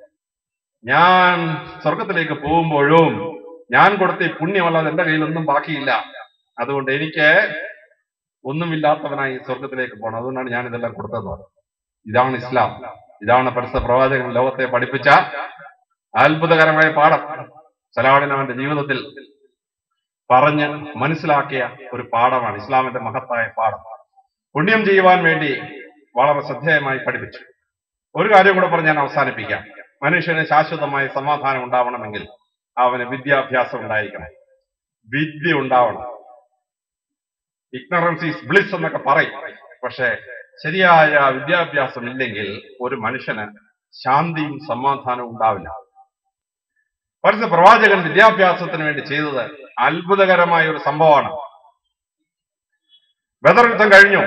കുറെ ആളുകളെ തടവുകാരായിട്ട് പിടിച്ചോണ്ട് വന്നു. അറബികളുടെ സാക്ഷരത മൂന്ന് ശതമാനത്തിൽ താഴെയായിരുന്നു മൂന്ന് ശതമാനത്തിൽ താഴെ. അറബികൾക്ക് യൂണിവേഴ്സിറ്റികളൊന്നും ഉണ്ടായിരുന്നില്ല. പ്രശസ്തമായ സ്കൂളുകളൊന്നും വിദ്യാഭ്യാസത്തിനൊന്നും ഉണ്ടായിരുന്നില്ല. പ്രവാചകൻ അതിനകത്ത് കുറെ ആളുകൾ സാക്ഷരരാണെന്ന് കണ്ടെത്തി അവരെല്ലാം വിളിച്ചു. അവരോട് പറഞ്ഞു നമ്മുടെ നിയമപ്രകാരം പത്ത് വരാഹൻ പത്ത് സ്വർണ നാണയം കൊടുക്കണം. കൊടുത്തെങ്കിലേ സ്വാതന്ത്ര്യം കിട്ടുള്ളൂ. അറബി ഭാഷയിലെ വരാഹൻ എന്ന് പറയുന്ന വാക്ക് ഇന്ത്യയിൽ നിന്ന് പോയതാണ്. രാഷ്ട്രകൂടന്മാരുടെ മഹാരാഷ്ട്രയിലെ രാഷ്ട്രകൂടന്മാരുടെ സ്വർണ നാണയത്തിന്റെ പേരാണ് വരാഹൻ. വിഷ്ണുവിന്റെ മൂന്നാമത്തെ അവതാരമായ വരാഹവുമായി ബന്ധപ്പെട്ടതാണ് ഈ വരാഹൻ എന്ന് പറയുന്ന വാക്ക്. അറബി ഭാഷയിലെ സ്വർണത്തിന് അതാണ് വാക്ക്. അപ്പൊ അങ്ങനെയുള്ള വരാഹൻ പത്ത് വരാഹൻ കൊടുക്കണം. രണ്ട് ലക്ഷത്തി അമ്പതിനായിരം രൂപ ഇപ്പോഴത്തെ സ്വർണത്തിന്റെ വില വെച്ചിട്ട്. പ്രവാചകൻ പറഞ്ഞു നിങ്ങൾ ഓരോരുത്തരും പത്ത് പേരെ എഴുതാനും വായിക്കാനും പഠിപ്പിച്ചാൽ നിങ്ങൾക്ക് സ്വാതന്ത്ര്യം തരുന്നതാണ്. ഒരാളിനെ ലിറ്ററേറ്റ് ആക്കാനുള്ളതിന്റെ കോസ്റ്റ് ഇന്നത്തെ കണക്കിന് ട്വന്റി ഫൈവ് തൗസൻഡ് പത്ത് പേരെ സാക്ഷരരാക്കാൻ പത്ത് സ്വർണ നാണയത്തിന് ഈക്വൽ വിദ്യാധനം സർവതനാൽ പ്രധാനം എന്ന് നമ്മൾ പറയും. വിദ്യാധനം എത്ര ധനത്തിന് ഈക്വലന്റ് ആണെന്ന് ലോകത്തിന് കണക്കുണ്ടാക്കി കൊടുത്തത് പരസ്യ പ്രവാചകനാണ്. ഞാൻ ജയിലിൽ ചപ്പാത്തിയും കറിയും ഒക്കെ ഉണ്ടാക്കി. തടവുകാരെ കൊണ്ട് പതിനാല് കോടി രൂപ ഉണ്ടാക്കി. ഞാൻ ടെലിവിഷനിൽ പറഞ്ഞു എനിക്ക് ഈ ആശയം കിട്ടിയത് പരിസ്ഥ പ്രവാചകനിൽ നിന്നാണ്. തടവുകാർക്ക് അറിയാവുന്ന വിദ്യ അവനെ പഠിപ്പിച്ച്. അവനെ കൊണ്ട് രാഷ്ട്രത്തിന് പ്രയോജനപ്രദമായ കാര്യം ഞാൻ പരിസ്ഥ പ്രവാചകൻ തടവുകാരെ കൊണ്ട് ചെയ്യിപ്പിച്ചു. അതിൽ നിന്നാണ് കേരളത്തിലെ ജയിലുകളിലെ തടവുകാരെ ഉപയോഗിച്ച് ചപ്പാത്തിയും കറിയും പതിനാല് കോടി രൂപയുടെ സാധനങ്ങൾ ഉണ്ടാക്കാൻ പഠിച്ചത്. അതൊരു വലിയ തത്വമാണ്. അങ്ങനെ ഇവരെല്ലാം സ്വാതന്ത്ര്യം കിട്ടി. സ്വാതന്ത്ര്യം കിട്ടിക്കഴിഞ്ഞ പ്രവാചകങ്ങളോട് പറഞ്ഞു നിങ്ങൾക്കെല്ലാം സ്വാതന്ത്ര്യം കിട്ടിയല്ലോ പപ്പത്ത് വരെ പഠിപ്പിച്ചത്. എനിക്ക് എന്റെ സമൂഹത്തിൽ അധ്യാപകരുടെ എണ്ണം വളരെ കുറവാണ്. അതുകൊണ്ട് നിങ്ങളൊരു കാര്യം ചെയ്യണം. കുറേശികളെ വിദ്യ അഭ്യസിപ്പിക്കാനുള്ള അധ്യാപകരായി നിങ്ങൾ തുടർന്നും ജോലി ചെയ്യണം. അങ്ങനെ ഈ തടവുകാർക്ക് സ്വാതന്ത്ര്യം കിട്ടിയവരെല്ലാം അധ്യാപകരായി നിയമിക്കുകയും ഇസ്ലാം വിദ്യാഭ്യാസ രംഗത്ത് അത്ഭുതം സൃഷ്ടിക്കുകയും ചെയ്തു. പണക്കാട് തങ്ങളന്മാർ ഇതാ മഹത്തായ ഒരു വിദ്യാഭ്യാസം ഉണ്ടാക്കുന്നു. പ്രവാചകൻ ഉണ്ടാക്കിയ വിദ്യാഭ്യാസം പോലെ ഇത് ഈ നാടിന് മഹത്തരമായ വിദ്യാഭ്യാസമാണ് ആവാൻ പോവാണ്. പ്രവാചകൻ വിദ്യാഭ്യാസത്തിന് അത്ര വലിയ സ്ഥാനം കൊടുത്തു. എന്നിട്ട് മുസ്ലിങ്ങൾ എന്ത് ചെയ്തു? അവർ അത്ഭുതകരമായ യൂണിവേഴ്സിറ്റീസ് എസ്റ്റാബ്ലിഷ് ചെയ്തു. Baghdad university Cairo university Cordoba university ലോകത്തിൽ ആദ്യം യൂണിവേഴ്സിറ്റി ഉണ്ടാക്കി ബുദ്ധമതക്കാരാണ്. പക്ഷെ പാശ്ചാത്യ ലോകത്തിന് ഓക്സ്ഫോർഡും കേംബ്രിഡ്ജും ഒക്കെ ഉണ്ടാക്കാനുള്ള ആശയം കൊടുത്തത് അറബികളാണ്. അവരുടെ പൊളിറ്റിക്കൽ ക്യാപിറ്റൽ കുറച്ചു കഴിഞ്ഞപ്പോൾ എഡ്യൂക്കേഷണൽ ക്യാപിറ്റലായി മാറി. ഇറാഖിന്റെ തലസ്ഥാനം ബാബുലോണായിരുന്നു പക്ഷെ കുറച്ചു കഴിഞ്ഞപ്പോൾ തലസ്ഥാനം ബാഗ്ദാദിലേക്ക് മാറി. യൂണിവേഴ്സിറ്റി ക്യാപിറ്റൽ രാജ്യത്തിന്റെ തലസ്ഥാനമായി മാറി. ഈജിപ്തിന്റെ തലസ്ഥാനം മെംഫിസ് ആയിരുന്നു. പക്ഷെ നൂറ്റമ്പത് കൊല്ലം കഴിഞ്ഞപ്പോൾ ഈജിപ്തിന്റെ തലസ്ഥാനം കെയ്റോ ആയി വിദ്യാഭ്യാസ യൂണിവേഴ്സിറ്റി ഉള്ള സ്ഥലം രാജ്യത്തിന്റെ തലസ്ഥാനമായി. സ്പെയിനിലെ മുസ്ലിങ്ങൾ കൊറഡോബ അവരുടെ തലസ്ഥാനമാക്കി മാറ്റി. എന്നിട്ട് അവർ യൂണിവേഴ്സിറ്റി ഉണ്ടാക്കിട്ട് എന്ത് ചെയ്തു? അവിടെയാണ് അത്ഭുതം. മുസ്ലിങ്ങളുടെ പുസ്തകങ്ങൾ മാത്രം കളക്ട് ചെയ്യാനല്ല ഈ യൂണിവേഴ്സിറ്റികൾ തീരുമാനിച്ചത്. പരസ്യ പ്രവാചകന്റെ കൽപ്പന പ്രകാരം അവരെ ലോകത്തുള്ള പുസ്തകങ്ങൾ മുഴുവൻ സമാഹരിച്ചവരുടെ യൂണിവേഴ്സിറ്റിയിൽ വെച്ചു. ആയിരം വർഷം യൂറോപ്പ് അന്ധകാര യുഗത്തിലേക്ക് പോവുകയായിരുന്നു. യൂറോപ്പ് അന്ധകാര യുഗത്തിൽ പോയപ്പോൾ പ്രകാശ യുഗത്തിലേക്ക് വന്നത് അറബികളും മുസ്ലിങ്ങളുമായിരുന്നു.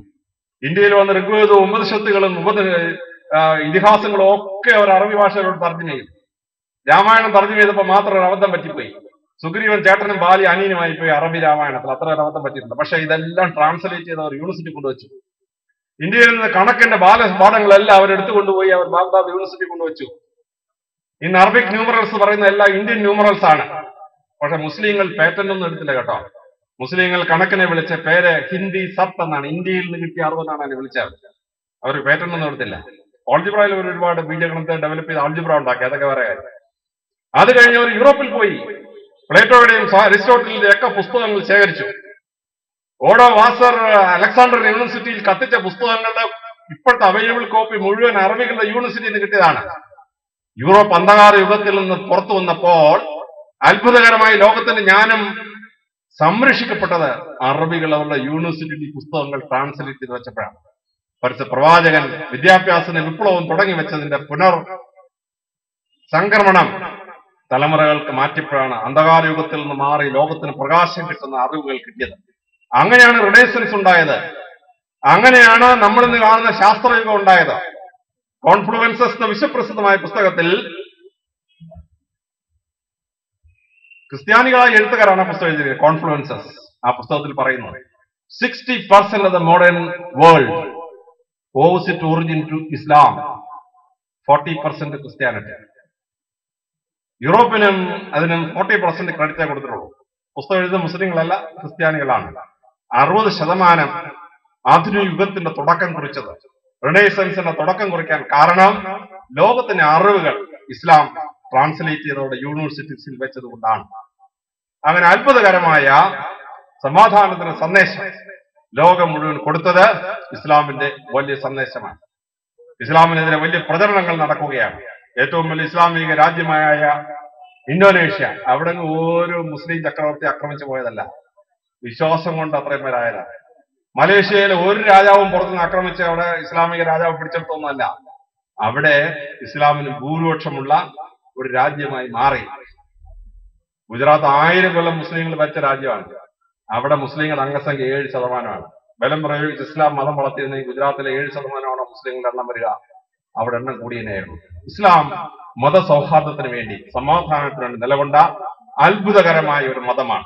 എനിക്ക് മുപ്പത് മിനിറ്റാണ് അനുവദിച്ചിരുന്നത്. ഞാൻ പത്ത് മിനിറ്റ് കടന്നിരിക്കുന്നു. ഞാൻ വാക്കുകൾ അവസാനിപ്പിക്കുകയാണ്. ഇന്ന് നമ്മൾ ലോകത്തിൽ പല കാര്യങ്ങളും കേൾക്കുമ്പോൾ അത് ഇസ്ലാമികമാണോ എന്ന് നമുക്ക് സംശയമാണ്. നമ്മുടെ വിചാരം ഫ്രഞ്ച് ഭാഷയോ ജർമ്മൻ ഭാഷയോ ഒക്കെ ആണെന്നാണ്. വേൾഡ് കപ്പ് ഫുട്ബോൾ ഉണ്ടാവുമ്പോൾ കോപ്പ ഫുട്ബോൾ അരങ്ങേറുമ്പോൾ ആ ഫുട്ബോളുകൾ കണ്ടുകൊണ്ടിരിക്കുന്നവർ ആ ലാ ലല്ല എന്നിങ്ങനെ വിളിക്കുന്നു. ആളുകളുടെ വിചാരം ഇത് ഫ്രഞ്ചോ ജർമ്മനോ ആണെന്ന്. ഇത് ഇസ്ലാമിന്റെ അള്ളാഹുവിനെ വിളിക്കുന്ന ആലാ അള്ളഹ എന്ന് സ്പെയിനിലെ മുസ്ലിങ്ങൾ വിളിച്ച ഒരു വിദ്യാഭ്യാസത്തിന്റെ സംഗതിയാണ്. അള്ളാഹുവിനെ വിളിച്ച ഒരു വിളിയാണ്. അതാണ് കോപ്പ ഫുട്ബോൾ കാണുമ്പോൾ ലോകകപ്പ് കാണുമ്പോൾ യൂറോപ്പിലുള്ള ആളുകൾ വിളിച്ച് പറയുന്നത്. ഫോൺ എടുക്കുമ്പോൾ നമ്മൾ ഹലോ എന്ന് വിളിക്കും ഹലോ എന്തോ ഇംഗ്ലീഷ് ആണെന്നാണ് നമ്മൾ ധരിച്ചു വെച്ചിരിക്കുന്നത്. താരസൻ മുസ്ലിംസ് പരസ്പരം അഡ്രസ് ചെയ്യാൻ വേണ്ടി ഹാ അള്ള എന്ന് പറഞ്ഞാണ് ഈ ഹലോ ആയി രൂപാന്തരപ്പെട്ടത്. ഫോൺ വിളിക്കുമ്പോൾ ഇസ്ലാമികമാണ് പദമെന്ന് ആൾ പറഞ്ഞൂടാ ആരുടെ ആരണ്ടോ ഇംഗ്ലീഷ് പദമാണെന്നാണ് നമ്മുടെ അജ്ഞത എന്ന് മാത്രമേ ഉള്ളൂ. ലോകത്തിൽ അത്ഭുതകരമായ സംഭാവനകൾ ചെയ്ത വലിയ രൂപവും ഭാവവും മാറ്റിയ അത്ഭുതകരമായ ലോകത്തിന് വെളിച്ചമായ സമാധാനം ലോകത്തിന് ഉറപ്പാക്കിയ മതസൗഹാർദ്ദം ലോകത്തിന് കാണിച്ചു കൊടുത്ത അത്ഭുതകരമായ പ്രവാചകന്റെ ആ ജീവിതത്തിന് മുമ്പിൽ തലകുനിച്ചുകൊണ്ട് നിങ്ങൾക്ക് ഏവർക്കും ആ നബിദിനത്തിന്റെ വലിയ സന്ദേശങ്ങൾ ആശ ആശംസയാ നൽകിക്കൊണ്ട് വാക്കുകൾ ഇതിന് പുസ്തകം വരും. Thank you very much indeed, Jacob, sir. It was thought-provoking and sententious words from you. We continue to, to listen to you even in your silence, and you inspired us to learn more about the Prophet of Islam. Thank you very much indeed. നമ്മുടെ വേദിയിൽ നമ്മളെ നിറസാന്നിധ്യമായിട്ട് ബഹുമാനപ്പെട്ട Muhammad Muhammad നിയാജി M L എയും അതേപോലെ തന്നെ നമ്മുടെ മുഴുവൻ ജീവ ജീവകാരുണ്യ പ്രവർത്തനങ്ങളുടെയും സജീവ സാന്നിധ്യമായിട്ടുള്ള ആലുങ്കൽ മുഹമ്മദ് സാഹിബും എത്തിച്ചേർന്നിട്ടുണ്ട്. രണ്ടുപേർക്കും സംഘാടക സമിതിക്ക് പേരിലും തങ്ങൾ കുടുംബത്തിന്റെ പേരിലുമുള്ള ആർത്തവമായ സ്വാഗതം രേഖപ്പെടുത്തുകയാണ്. ഹിറാഗുഹയിൽ പ്രവാചകൻ കണ്ട പ്രകാശധാവള്യം സീനാമലമുകളിൽ മോസസ് കണ്ട വെളിച്ചം. ബോധിവൃക്ഷ ചുവട്ടിൽ ബുദ്ധൻ കണ്ടതും വെളിച്ചം തന്നെ. കെട്ടുപോകരുതാത്ത ഈ വെളിച്ചത്തിന്റെ കൈനീട്ടം പോലെ കുടപ്പനക്കലെ തറവാട്ടുമുറ്റം. മൈത്രിയുടെ ഈ മനുഷ്യ സംഗമം. ഇനി വാക്കിന്റെ വിഭജികയിൽ ശ്രുതിമീട്ടി കനിവിന്റെ കവിത ചൊല്ലുന്ന ഒരു കവിയുണ്ട് ഈ വേദിയിൽ. ശ്രീ ആലങ്കോട് ലീലാകൃഷ്ണൻ. മനുഷ്യനന്മയുടെ മാമ്പഴ മധുരം മലയാളികൾക്ക് പകർന്നേകുന്ന ശ്രീ ആലങ്കോട് ലീലാകൃഷ്ണനെ സ്നേഹപൂർവം ക്ഷണിക്കുന്നു.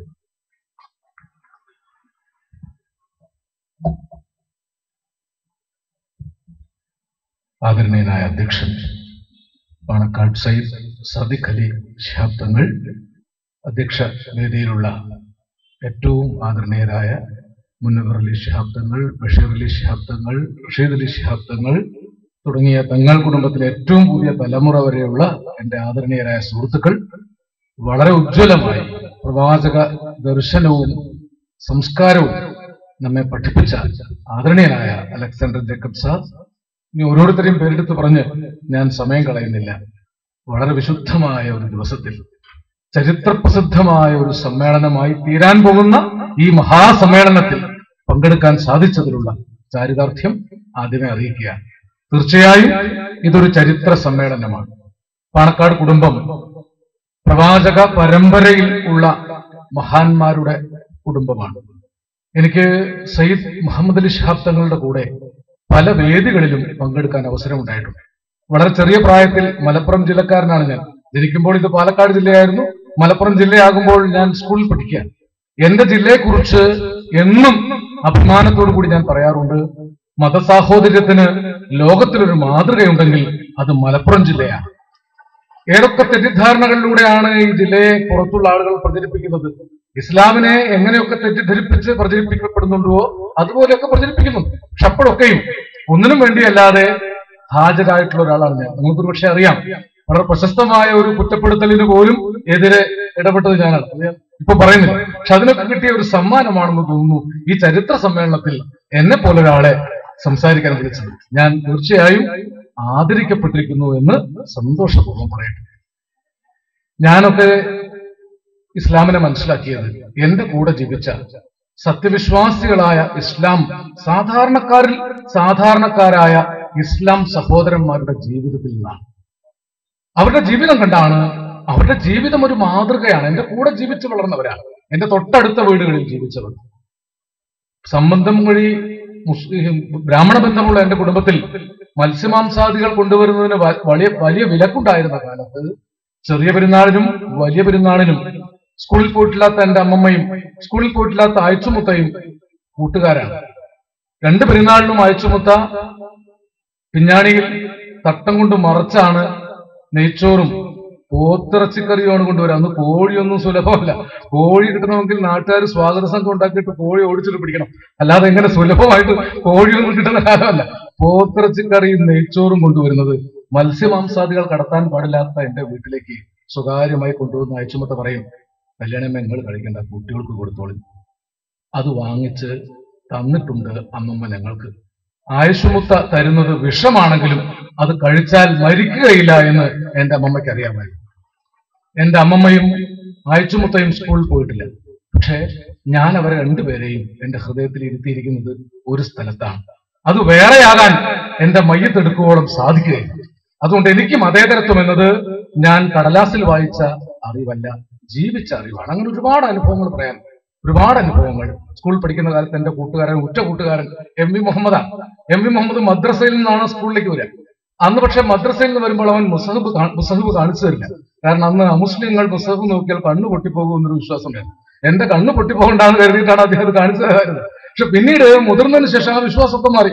ഞാൻ സി എൻ അഹമ്മദ് മൗലവിയുടെ ഒരു ഖുറാന്റെ പരിഭാഷ വളരെ കഷ്ടപ്പെട്ടാണ് വാങ്ങിച്ച് പഠിച്ചത്. പിന്നീട് ഇംഗ്ലീഷ് പരിഭാഷകൾ വായിച്ചു. അപ്പോൾ എനിക്ക് മനസ്സിലായ ഒരു കാര്യം വിശുദ്ധ ഖുറാൻ കണ്ണ് പൊട്ടിക്കുന്ന ഗ്രന്ഥമല്ല കണ്ണ് തുറപ്പിക്കുന്ന ഗ്രന്ഥമാണ്. ഇതെല്ലാവരും വായിക്കേണ്ടതുണ്ട്. വിശുദ്ധ ഖുറാൻ ഹിന്ദുക്കൾ വായിക്കണം ക്രിസ്ത്യാനികൾ വായിക്കണം ലോകത്തുള്ള എല്ലാ മതസ്ഥരും വായിക്കണം തിരിച്ച് വേദങ്ങൾ ബൈബിളൊക്കെ എല്ലാവരും വായിക്കണം. അതാണ് ഇന്ത്യ എന്ന മഹത്തായ രാജ്യം ലോകത്തോട് പറഞ്ഞത്. ഏത് മതത്തെയും കൈനീട്ടി സ്വീകരിച്ച നാനാത്വത്തിൽ ഏകത്വമുള്ള ഏകത്വത്തിൽ നാനാത്വമുള്ള ലോകത്തിലെ ഒരു അത്ഭുത സംസ്കാരം തുറന്ന നാടാണ് ഇന്ത്യ. ഇന്ത്യയെ അതൊക്കെ നിരാകരിച്ച് ഏകശിലാനിർമ്മിതമായി മാറ്റി തീർക്കാൻ ആര് വിചാരിച്ചാലും സാധിക്കുകയില്ല എന്ന് നിങ്ങൾ മനസ്സിലാക്കണം. അതിന്റെ പ്രാരംഭമാണ്. ഇത് ബഹുസ്വരതയുള്ള നാടാണ്. ഇപ്പോൾ പ്രവാചകനെ അറിയേണ്ടതുണ്ട്. ഞാൻ പറഞ്ഞല്ലോ കുട്ടിക്കാലത്ത് ഇതിന് പ്രയാസം ഉണ്ടായിരുന്നു ഞാൻ പ്രവാചക പരമ്പരയിലെ പലരും മനസ്സിലാക്കിയത് അന്ന് കുറേശ്ശെ പാടും. ഇപ്പൊ കല്യാണ വീടുകളിൽ പാടാൻ പോകും. അക്കാലത്ത് എം എസ് ബാബുരാജ് ചിട്ടപ്പെടുത്തിയ ഒരു പാട്ടുണ്ടായിരുന്നു. ആ പാട്ട് ഞാൻ പാടിയിട്ടുണ്ട്. അത് ഇബ്രാഹിം നബിയെ കുറിച്ചാണ് ബലിപെരുന്നാളിനെ കുറിച്ചാണ്. ഇലാഹായ പുരാനോട് ഇരവും പകലും തേടി ഖലീലായ ഇബ്രാഹിം നബിക്ക് കിട്ടി മകനായി ഇസ്മായിൽ നബി എന്ന കനകക്കട്ടി വളരെ പ്രശസ്തമായ പാട്ടാണ്. ബ്രഹ്മണ പാടാം പക്കാലത്ത് ഞാൻ ഈ പാട്ട് പാടിയതിനു ശേഷമാണ് എങ്ങനെയാണ് ഖലീലാകുന്നത് ഇബ്രാഹിം നബി? അള്ളാഹുവിന്റെ ഖലീൽ അള്ളാഹുവിന്റെ കൂട്ടുകാരൻ എന്ന് വിശേഷണം ഉണ്ടായിരുന്ന ഇബ്രാഹിം നബിയെ കുറിച്ച് അങ്ങനെ അറിയും പിന്നീട് സ്കൂളിലൊക്കെ പാടിയിട്ടുണ്ട് ഇതൊക്കെ പാട്ട് പാടാനുള്ള സമയം അല്ലാത്തതുകൊണ്ട് എങ്കിലും വ്യത്യാസമായിക്കോട്ടെ. സ്കൂളിൽ പാടിയ ഒരു പാട്ട് അത് നിങ്ങൾ അറിയുന്ന ഒരു പാട്ടാണ്. ഇബ്രാഹിം നബിയുള്ള ഉറക്കം പൂണ്ടേ പെരിയവൻ കനവ് കണ്ടേ മരുഭൂവിൽ വളർന്നൊരു തൻ പ്രിയ പുത്രൻ മണിയായ ഇസുമയിൽ നബിയെ വധിപ്പാൻ മനതാരിൽ അരുളിയ കഥയത് കേൾപ്പാൻ മനം നെട്ടി ഉണർന്നിതേ നബിയുമന്നേ. മനവിയാം ഹാജിറായോടുരച്ചു പിന്നെ. വലിയൊരു വലിയൊരു പാട്ടാണ്. മരുഭൂമിയിൽ വളർന്ന കൗബാലയം പടുത്തു കെട്ടാൻ തന്നെ സഹായിച്ച തന്റെ പ്രിയപുത്രനെ ഇസ്മായിലിനെ മണിയായ ഇസ്മായിലിനെ ബലി കൊടുക്കണമെന്ന് അള്ളാഹു കൽപ്പിച്ചപ്പോൾ യാതൊരു മടിയും കൂടാതെ ആ പ്രവാചകൻ തയ്യാറായി. ഹജറ ബിബിയോട് ചോദിച്ചപ്പോൾ അള്ളാഹുവിന്റെ കൽപ്പന അങ്ങനെയാണെങ്കിൽ നടക്കട്ടെ. പറയുന്നു മാതാവപ്പോൾ കാണാം ഞാൻ നിന്നെ. മന്നാന്റെ വിധിയുണ്ടേൽ സുപർക്കത്തിന്നേ. ഒരമ്മ പറയാ അള്ളാഹുവിന്റെ വിധി ഉണ്ടെങ്കിൽ നിന്നെ ഞാൻ സ്വർഗത്തിൽ കണ്ടുകൊള്ളാം. ഇതൊക്കെ ഞാൻ ജീവിതത്തിൽ പഠിച്ചതാണ്. പിന്നീട് പ്രവാചകനെ വായിക്കാൻ ശ്രമിച്ചു. ഇത് പ്രവാചകനായ ഇബ്രാഹിം നബിയെക്കുറിച്ച് ഇസ്മയിൽ നബിയെ കുറിച്ച് വായിച്ചു പഠിക്കാൻ തുടങ്ങിയപ്പോഴാണ് അന്ത്യപ്രവാചകനായി നാം കണക്കാക്കി പോരുന്ന മുഹമ്മദ് നബി പ്രവാചകൻ വരെയുള്ള ഒരു ലക്ഷത്തി ഇരുപത്തി അയ്യായിരത്തോളം പ്രവാചകന്മാർ അല്ലെ? എത്രയോ പ്രവാചകന്മാരെ ഭൂമിയിലേക്ക് അയച്ചിരിക്കുന്നു. വിശുദ്ധ ഖുറാൻ തന്നെ പറയുന്നു മുഹമ്മദെ നിനക്ക് മുൻപും എത്രയോ പ്രവാചകന്മാരെ ഭൂമിയിലേക്ക് അയച്ചിട്ടുണ്ട്. അവരുടെ പേര് വിവരങ്ങൾ മുഴുവൻ വെളിപ്പെടുത്തി തന്നിട്ടില്ല. ആദം എന്ന ആദ്യത്തെ മനുഷ്യൻ പ്രവാചക പദവി ലഭിച്ച ആളായിരുന്നു. ആദം നബി എന്നാണ് ഇസ്ലാം മത വിശ്വാസികൾ കരുതി പോരുന്നത് ക്രിസ്തു മത വിശ്വാസികൾ ആദം എന്ന് വിളിക്കുന്നു. അപ്പൊ ആദം നബി ആദം മക്കളെ നാം ആദരിച്ചിരിക്കുന്നു എന്ന് പടച്ച തമ്പുരാൻ അള്ളാഹു പറയുന്നു. ആദം മക്കളുടെ പരമ്പര തൊട്ട് ലോകത്തുണ്ടായിട്ടുള്ള മനുഷ്യരൊക്കെ ഒരു ഉമ്മയിൽ നിന്നും ബാപ്പയിൽ നിന്നും പിറവി കൊണ്ടവരാണ്. ഒരു പിതാവിൽ നിന്നും മാതാവിൽ നിന്നും പിറവി കൊണ്ടവരാണ്. വിശുദ്ധ ഖുർആൻ അർത്ഥശങ്കക്കിടമില്ലാത്ത വിധത്തിൽ പറയുന്നുണ്ട് മനുഷ്യരെ നിങ്ങളെ ഞാൻ ഒരു സ്ത്രീയിൽ നിന്നും പുരുഷനിൽ നിന്നും സൃഷ്ടിച്ചിരിക്കുന്നു. നിങ്ങൾക്ക് വിവിധ ഗോത്രങ്ങളുടെ അടയാള വ്യത്യാസങ്ങൾ തന്നിരിക്കുന്നത് നിങ്ങൾ തമ്മിൽ തമ്മിൽ തിരിച്ചറിയാൻ വേണ്ടി മാത്രമാണ്.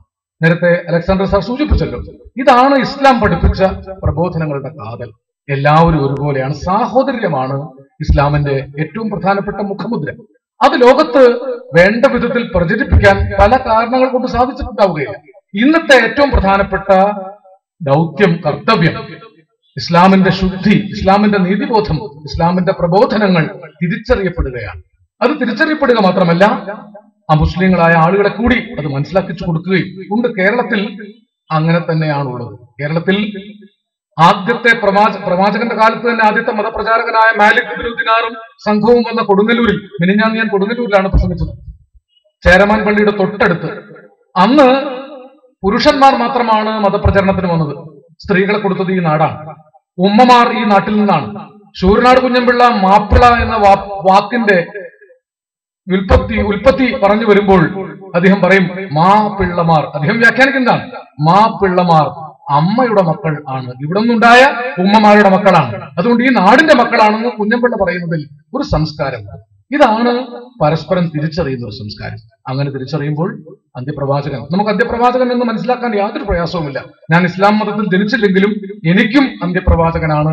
കാരണം അതിനു മുമ്പുണ്ടായ പ്രവാചക പരമ്പരകളൊക്കെ തന്നെ അതിലൊക്കെ ശ്രീകൃഷ്ണൻ പ്രവാചകനായിരിക്കും ശ്രീരാമൻ പ്രവാചകനാണ് ബുദ്ധൻ പ്രവാചകനാണ് യേശു പ്രവാചകനാണ് ഈസാ നബി എന്ന് വിളിക്കുന്ന യേശുവിനെ പ്രവാചകനായിട്ട് അംഗീകരിച്ചിട്ടുണ്ട്. ഇബ്രാഹിം നബിയെ ഏബ്രഹാം എന്ന് ക്രിസ്ത്യാനികൾ വിളിക്കുന്നു. ഇതൊക്കെ പരസ്പരം ബന്ധപ്പെട്ട് കിടക്കുന്നു. സെമിറ്റിക് മതങ്ങളും ഇടക്കുള്ള മതങ്ങളും പരസ്പരം പ്രബോധന തലത്തിൽ തിരിച്ചറിഞ്ഞാൽ ഇത് തമ്മിൽ വലിയ വൈജാത്യങ്ങളില്ല. വൈജാത്യങ്ങളുണ്ട്. പല മതങ്ങളും ഉണ്ടായത് പല കാലങ്ങളിൽ പല ഉദ്ദേശങ്ങൾക്കാണ്. ഒരുപക്ഷെ ഇസ്ലാം ഉണ്ടായ കാലത്ത് നീതിയും സാഹോദര്യവും ഊട്ടിയുറപ്പിക്കാനാണ് പരിശ്രമിച്ചത്. ക്രിസ്തുമതത്തിന്റെ കാലത്ത് കാരുണ്യത്തെക്കുറിച്ചാണ് ഒരുപക്ഷെ കൂടുതൽ യേശുദേവൻ സംസാരിച്ചത്. ശ്രീകൃഷ്ണ പ്രവാചകൻ ധർമ്മത്തെക്കുറിച്ചാണ്. അദ്ദേഹം എപ്പോഴും പറഞ്ഞത് പരിത്രാണായ സാധൂനാം വിനാശായ ച ദുഷ്കൃതാം ധർമ്മ സംസ്ഥാപനാർത്ഥായ സംഭവാമി യുഗേ എന്നാണ്. ഭഗവത്ഗീതയിൽ പറയുന്നത് ഓരോരോ കാലങ്ങളിൽ ഓരോരോ ആവശ്യങ്ങൾക്കായി അതും സനാതന ധാർമ്മിക നീതി സാഹോദര്യ മൂല്യങ്ങൾക്ക് വേണ്ടി ഉണ്ടായ മതങ്ങളാണ്. ആ മതങ്ങളെ അതിന്റെ പ്രബോധനങ്ങളിലൂടെയാണ് മനസ്സിലാക്കേണ്ടത്. ആ പ്രബോധനങ്ങൾക്കനുസരിച്ച് ജീവിച്ച മനുഷ്യരിലൂടെ. അതിൽ ആദ്യത്തെ മനുഷ്യൻ ഇസ്ലാമിക പ്രബോധനങ്ങൾക്കനുസരിച്ച് പൂർണമായും ജീവിച്ച് കാണിച്ചു കൊടുത്ത മനുഷ്യനാണ് അന്ത്യപ്രവാചകനായ മുഹമ്മദ് നബി തിരുമേനി. നാൽപ്പത് വർഷം കച്ചവടം ചെയ്ത് ജീവിച്ച ആൾ. നാൽപ്പത് വർഷത്തെ കച്ചവട ജീവിതം കൊണ്ട് അദ്ദേഹം ആർജിച്ച വിശ്വാസ്യതയാണ് ഈ നാടിന്റെ നന്മയ്ക്ക് വേണ്ടി ലോകത്തിന്റെ നന്മയ്ക്ക് വേണ്ടി ഹിറാ ഗുഹയിൽ തപസ്സമാധിസ്ഥനായിരുന്ന സമയത്ത് ജിബ്രിൽ എന്ന മാലാഖ വന്ന് ഇറുക പുണർന്നുകൊണ്ട് ഇക്ർ വായിക്കുക എന്ന് ഉച്ചരിച്ചപ്പോൾ എനിക്ക് വായിക്കാൻ അറിഞ്ഞുകൂടാ എന്ന് അദ്ദേഹം പറഞ്ഞു. വീണ്ടും ഇറുകെ പുണർന്ന് വായിക്കുക എന്ന് ആജ്ഞാപിച്ചപ്പോൾ അദ്ദേഹത്തിന് ഈ പ്രപഞ്ചത്തിന്റെ സത്യം വായിക്കാറായി അതാണ് ഇന്നിപ്പോ പാണക്കാട് സഹോദരന്മാർ പാണക്കാട് കുടുംബം സ്ട്രൈറ്റ് പാത്ത് ഒരു വിദ്യാലയം സ്ഥാപിക്കുമ്പോൾ ഇക്ര എന്ന ആദ്യത്തെ ഖുറാൻ വചനത്തെ അനുസരിക്കുകയാണ് ചെയ്യുന്നത്. വായിക്കുക. നിന്റെ സ്രഷ്ടാവായ നാഥന്റെ നാമത്തിൽ വായിക്കുക. പേന കൊണ്ട് എഴുതാൻ പഠിപ്പിച്ച അത്യുദാരനാണ് നിന്റെ നാഥൻ. ലക്ഷ്മൺ സാർ പറഞ്ഞല്ലോ അറിവാണ് പ്രധാനം. അറിവ് നേടിയവനെ അടിമയാക്കാൻ ആർക്കും സാധിക്കുകയില്ല. അതുകൊണ്ടാണ് വിശുദ്ധ ഖുർആൻ ആദ്യത്തെ ആയത്ത് തന്നെ വായിക്കുക എന്നാക്കിയത്. അപ്പൊ വായിക്കലും അറിവ് നേടലുമാണ് ഏതൊരു മനുഷ്യ സമൂഹത്തിനും നിലനിൽക്കുന്നതിന് ആവശ്യമായ ഏറ്റവും പ്രധാനപ്പെട്ട ശക്തി. അപ്പൊ അറിവ് നേടിയ ഒരു സമൂഹം ഉണ്ടാകണം. അതിനുവേണ്ടിയാണ് അദ്ദേഹം പറഞ്ഞല്ലോ തടവിലുണ്ടായിരുന്ന ആളുകളെ മോചിപ്പിച്ച് അവർക്ക് പത്ത് വരാഹന് പകരം പത്ത് പേരെ സാക്ഷരത കൊടുക്കാൻ നിയോഗിച്ചു. എത്രയോ സംവിധാനങ്ങൾ ഉണ്ടാക്കി. അദ്ദേഹത്തിനോട് ചേർന്നുണ്ടായിട്ടുള്ള യൂണിവേഴ്സിറ്റികളെ കുറിച്ചൊക്കെ പറഞ്ഞു. വായിക്കുകയും അറിവ് നേടുകയും പ്രചരിപ്പിക്കുകയും ചെയ്തുകൊണ്ട് അറിവുള്ളവരുടെ സമൂഹം ഉണ്ടാകണം. മറ്റു പ്രവാചകന്മാരിൽ നിന്ന് മുഹമ്മദ് നബി പ്രവാചകനെ വ്യത്യസ്തനാക്കുന്ന മറ്റൊരു പ്രധാന ഘടകമുണ്ട്. ആദ്യം തൊട്ട് മുഹമ്മദ് നബി പ്രവാചകന് തൊട്ടു മുമ്പുള്ള പ്രവാചകൻ വരെയുള്ളവർക്കൊന്നും അവരുടെ വിശ്വാസ പ്രമാണ പ്രമാണങ്ങൾക്കോ പ്രബോധനങ്ങൾക്കോ അനുസൃതമായ ഒരു രാഷ്ട്രം സ്ഥാപിക്കാൻ കഴിഞ്ഞില്ല. മോശ എന്ന മൂസ പ്രവാചകന് തന്റെ അനുയായികളെ കൂട്ടിക്കൊണ്ടുപോയി അതാ വാഗ്ദത്ത ഭൂമി എന്ന് കാണിച്ചു കൊടുക്കാൻ മാത്രമേ പറ്റിയുള്ളൂ. വാഗ്ദത്ത ഭൂമിയിലേക്ക് അനുയായികളെ എത്തിക്കാൻ മൂസ പ്രവാചകന് മോസസിന് സാധിച്ചില്ല. യേശു ക്രിസ്തുവിനാകട്ടെ തന്റെ പ്രബോ തന്റെ അനുയായികൾ നിറഞ്ഞു നിൽക്കുന്ന സദസ്സിൽ തന്നെ രണ്ട് കള്ളന്മാർക്ക് നടുവിൽ ക്രൂശിതനാകേണ്ടി വന്നു. ബറാബാസിനെ മോചിപ്പിച്ചപ്പോഴും ക്രിസ്തുവിനെ മോചിപ്പിക്കാൻ പിലാത്തോസ് തയ്യാറായില്ല അല്ലെങ്കിൽ അവിടെ കൂടിയ ഒറ്റുകാർ തയ്യാറായില്ല. ശ്രീകൃഷ്ണ പ്രവാചകൻ ഒരു വ്യാധന്റെ അമ്പേറ്റ് മരിച്ചു. ശ്രീകൃഷ്ണ ശ്രീരാമ പ്രവാചകൻ ഞാൻ പേര് പറയുന്ന പ്രവാചകൻ അവതാരം എന്നാണ് ഇന്ത്യക്കാർ പറയുന്നത്. സരയൂ നദിയിലേക്ക് ഇറങ്ങി മരിച്ചു. ഓരോ പ്രവാചകന്മാരും അങ്ങനെയാണ്. ബുദ്ധൻ അഹിംസയ്ക്ക് വേണ്ടി നിലകൊണ്ട ബുദ്ധ പ്രവാചകൻ അവസാനം മാംസം കഴിച്ച് അജീർണം ബാധിച്ച് മരിച്ചു എന്നാണ് കരുതുന്നത് അങ്ങനെയാണ് കഥ. എന്തായിരുന്നാലും മുഹമ്മദ് നബി പ്രവാചകൻ. പക്ഷേ തന്റെ പ്രബോധനങ്ങൾക്ക് അനുസൃതമായ ഒരു രാഷ്ട്രം സ്ഥാപിക്കുകയും ആ രാഷ്ട്രത്തിൽ തന്റെ കാലത്തും നാല് ഖലീഫമാരുടെ കാലത്തും. അലി ഉസ്മാൻ അബൂബക്കർ ഉമർ അല്ലെ? ഈ നാല് ഖലീഫമാരുടെ കാലത്ത് തികച്ചും നീതിനിഷ്ഠമായ ഒരു ഇസ്ലാമിക ഭരണകൂടം നിലനിർത്താൻ സാധിച്ചു. അപ്പൊ തന്റെ പ്ര പ്രബോധനങ്ങൾക്ക് അനുസൃതമായ ഒരു രാഷ്ട്രം സ്ഥാപിക്കാൻ വേണ്ടി നേരത്തെ പറഞ്ഞല്ലോ നാൽപ്പത് വയസ്സുകാലം ജീവിച്ച സത്യസന്ധതയും വിശ്വസ്തതയും കൈമുതലാക്കിക്കൊണ്ട് പടച്ചതമ്പുരാനിൽ നിന്ന് കൈവന്ന വിശുദ്ധ വചനങ്ങൾ താൻ സഞ്ചരിച്ച സ്ഥലങ്ങളിൽ അത് മക്കയിലും മദീനത്തും ജനങ്ങൾക്ക് കൊടുത്തു. ഇത് എന്റേതാണെന്ന് പ്രവാചകൻ പറഞ്ഞില്ല. ഇത് അള്ളാഹുവിൽ നിന്ന് ലഭിച്ചതാണ് ഞാൻ അള്ളാഹുവിന്റെ പ്രവാചകൻ മാത്രമാണ്. എന്റെ ചിത്രം നിങ്ങൾ കൊണ്ടു നടക്കരുത്. എന്നെ നിങ്ങൾ ആരാധിക്കരുത്. ആരാധനയ്ക്ക് അർഹൻ ഏകനാണ്. അള്ളാഹു മറ്റൊരാളില്ല ഒരാളേ ഉള്ളൂ. അല്ലെ? ആ ഒരൊറ്റ സത്യം പ്രബോധനം ചെയ്യുക മാത്രമാണ് പ്രവാചകൻ ചെയ്തത്. അദ്ദേഹം ഒരു രാഷ്ട്രം സ്ഥാപിച്ചപ്പോൾ ആ രാഷ്ട്രത്തിന്റെ വിളംബരം നടത്താൻ വേണ്ടി ബാങ്ക് വിളിപ്പിച്ചത് ബിലാൽ എന്ന അടിമയെ കൊണ്ടാണ്. പ്രവാചകൻ വിളിച്ചാൽ ആ നാട്ടിലെ ഏത് പ്രമാണിയും ഏത് പ്രഭുവും ഏത് ധനാഢ്യനും വന്ന് ഏത് പുരോഹിതനും വന്ന് ബാങ്ക് വിളിക്കുമായിരുന്നു. പക്ഷെ പ്രവാചകൻ കൊടുത്ത സൂചന ഇത് അടിമകളെ സ്വതന്ത്രമാക്കുന്ന നാടാ നാടാണ് എന്റെ നാട്. അനാഥരുടെ നാ അനാഥരെ സനാഥരാക്കുന്ന നാടാണ്. ദുഃഖിതർക്ക് സമാധാനം നൽകുന്ന നാടാണ്. ദരിദ്രർക്ക് സക്കാത്ത് കൊടുത്ത് ദരിദ്രരെ മോചിപ്പിക്കുന്ന നാടാണ്. അതുകൊണ്ടാണ് സക്കാത്ത് നിർബന്ധമാക്കിയ സമൂഹമാണ് ഇസ്ലാം. എവിടെയൊക്കെ സ്വലാത്ത് അനുഷ്ഠിക്കാൻ ആവശ്യപ്പെടുന്നുവോ അവിടെയൊക്കെ സക്കാത്തിനെ കുറിച്ച് ഇസ്ലാം പറയുന്നു എന്നാണ് എനിക്ക് മനസ്സിലായിട്ടുള്ള എളിയ ഒരു അറിവ്. സക്കാത്ത് എന്നത് കൊടുക്കുന്നവന്റെ ഔദാര്യമല്ല വാങ്ങുന്നവന്റെ അവകാശമാണെന്ന് പഠിപ്പിച്ച ലോകത്തിലെ ഒരേ ഒരു മതവും ആണ് ഇസ്ലാം. ഇതൊക്കെ നാം ഇസ്ലാമിനെ മനസ്സിലാക്കുമ്പോൾ അറിയുന്ന കാര്യങ്ങളാണ്. ഇതൊക്കെ ആയിരുന്നു മനസ്സിലാക്കപ്പെടേണ്ടിയിരുന്നത്. പക്ഷേ ഇത് മനസ്സിലാക്കപ്പെടാതിരിക്കുകയും ഇസ്ലാം വാളിന്റെ മതമാണെന്നും ഇസ്ലാം അസമാധാനത്തിന്റെ മതമാണെന്നും ഇസ്ലാമിക നാമധാരികളൊക്കെ കുഴപ്പക്കാരാണെന്നും അമേരിക്കയിലെ എയർപോർട്ടിൽ ഷാരൂഖ് ഖാനോ മമ്മൂട്ടിയോ ഇറങ്ങിയാൽ പോലും അവരെ സംശയത്തോടെ വീക്ഷിക്കുമെന്നും ഒക്കെയുള്ള അപായകരമായ സാമ്രാജ്യത്വ പ്രചാരണങ്ങളിൽ നമ്മളൊക്കെയും വീണു പോകുന്നത് അപകടമല്ലേ? മലപ്പുറം ജില്ലയിൽ ജീവിച്ചിട്ട് ഈ സാമ്രാജ്യത്വത്തിന്റെ പ്രചാരണത്തിൽ വീണു പോകാതിരിക്കാനുള്ള ഒരു തിരിച്ചറിവ് നമുക്കുണ്ടാകണ്ടേ? ഇവിടെ എന്തൊക്കെ ക്രൂര പീഡനങ്ങൾക്ക് ഇസ്ലാം വിധേയമായി? Malabar war knives act Mappila outrages act ഇസ്ലാമിന്റെ വീട്ടിൽ മുസൽമാന്റെ വീട്ടിൽ മത്തി നുറുക്കുന്ന കത്തി കണ്ടാൽ പോലും പിടിച്ച് ജയിലിലിടാനുള്ള നിയമം ഉണ്ടായിരുന്നു. ഇരുപത്തൊന്നിലെ കലാപകാലം. ഇരുപത്തൊന്നിൽ മുഴുവൻ കലാപകാരികളാണെന്ന് വിചാരിച്ച് മുഴുവൻ മുസ്ലിം സഹോദരന്മാരെ പിടിച്ചുകൊണ്ടുപോയി സ്ത്രീകൾ മാത്രമുള്ള അനാഥ കുടുംബങ്ങളിൽ കോട്ടക്കലെ പി എസ് വാര്യർ കഞ്ഞിപാർച്ച നടത്തിയതിന്റെ പേരിലാണ് പി എസ് വാര്യരുടെ കുതിരവണ്ടി പോകുമ്പോൾ ഒരിക്കലും അന്നത്തെ ഖിലാഫത്തിലെ ഭടന്മാർ തടഞ്ഞിരുന്നില്ല. ബ്രിട്ടീഷുകാർ പി എസ് വാര്യരുടെ പേരെഴുതി വെച്ചിട്ടുള്ള കുതിരവണ്ടിയിലാണ് ബ്രിട്ടീഷ് മേൽക്കൊണ്ടുപോയത് പിന്നെ പാറനമ്പിയും ഇവിടെ തന്നെ മലപ്പുറത്ത് തന്നെ ഉദാഹരണങ്ങൾ എടുത്താൽ മതി. ഇങ്ങനെയാണ് നമ്മൾ ജീവിച്ചത്. ഇതൊക്കെ സ്വാഭാവികമായ അടുപ്പമുണ്ടായിരുന്ന നാട്ടിൽ ആരോ കരുതി കുട്ടി ബോധപൂർവം അകൽച്ച ഉണ്ടാക്കാൻ ശ്രമിച്ചിട്ടുണ്ട്. ആദ്യം അത് ബ്രിട്ടീഷുകാരായിരുന്നു. അവർക്ക് ആദ്യത്തെ സ്വാതന്ത്ര്യ സമരത്തിൽ തന്നെ തോട്ട പന്നിക്കൊഴുപ്പ് കൊണ്ട് തോട്ടയുണ്ടാക്കി പശുക്കൊഴുപ്പ് കൊണ്ട് തോട്ടയുണ്ടാക്കി പന്നിക്കൊഴുപ്പ് കൊണ്ടുള്ള തോട്ട തോട്ട മുസ്ലിം ഭടന്മാരുടെ തോക്കിലും പശുക്കൊഴുപ്പ് കൊണ്ടുള്ള തോട്ട ഹിന്ദു ഭടന്മാരുടെ തോക്കിലും കൊടുത്ത് പരസ്പരം തമ്മിലടുപ്പിച്ച് ബ്രിട്ടീഷുകാർ പോയതിനു ശേഷവും പിന്നീട് വന്ന ആഗോളീകരണത്തിന്റെയും മറ്റനേകം ഇടപെടലുകളുടെയും ഇടയിൽ ഇത്തരം ബന്ധിപ്പിന്റെ പല പരിശ്രമങ്ങളും നടന്നു. അതിനിടയിൽ ഇന്ത്യയിൽ ഒന്നുമല്ലാതെ കടന്നിരുന്ന ചില വർഗീയ ശക്തികൾ സടകുടഞ്ഞ് എഴുന്നേറ്റു. അവർ ചില ചില പ്രചരണങ്ങളൊക്കെ നടത്തി. ഇന്ത്യയിൽ അപായകരമായ ചില ദുസ്സൂചനകൾ നൽകിക്കൊണ്ട് ഭരണകൂടം തന്നെ ചില ഭീഷണികൾ നമുക്ക് തരുന്നുണ്ട്. പക്ഷെ ഞാൻ ഇപ്പോഴും വിശ്വസിക്കുന്നു. അവർക്കൊന്നും സാധ്യമല്ല. ഇന്ത്യയുടെ മതേതര പാരമ്പര്യത്തെ ഒരു തരിമ്പെങ്കിലും മുറിവേൽപ്പിക്കാൻ. കാരണം അത്ര ആഴമുള്ളതാണ് ഈ മതേതര പാരമ്പര്യം. അത് പ്രവാചക ബോധത്തിൽ നിന്നുണ്ടായതാണ്. പ്രവാചകന്റെ കാലത്ത് തന്നെ ഇവിടെ വന്ന പ്രചാരകന്മാരും ഒക്കെ പഠിപ്പിച്ചിരുന്ന മഹാസന്ദേശമാണ്. ഇന്ത്യയെ ആക്രമിച്ച് കീഴടക്കിയ രാജാക്കന്മാർ മുസ്ലിം രാജാക്കന്മാർ നമുക്ക് തന്നത് സംസ്കാരമാണ്. മുഗൾ രാജവംശത്തെക്കുറിച്ച് പഠിക്കുമ്പോൾ നിങ്ങൾക്ക് ഹിന്ദുസ്ഥാനി സംഗീതത്തെ മറക്കാൻ പറ്റില്ലല്ലോ. ഇന്ത്യൻ സംഗീതവും പേർഷ്യൻ സംഗീതവും ചേർന്നുണ്ടായ ഹിന്ദുസ്ഥാനി സംഗീതമില്ലാതെ ലോകത്തിന്റെ മുമ്പിൽ ഇന്നൊരു ഇന്ത്യയുണ്ടോ? താജ്മഹൽ എന്ന പ്രണയകുടീരമില്ലാതെ ലോകത്തിന്റെ മുമ്പിൽ ഇന്നൊരു ഇന്ത്യയുണ്ടോ? കുതബുദ്ദീൻ ഐബക് സ്ഥാപിച്ച കുതബ് ഇല്ലാതെ ലോകത്തിന്റെ മുമ്പിൽ ഒരു ഇന്ത്യയുണ്ടോ?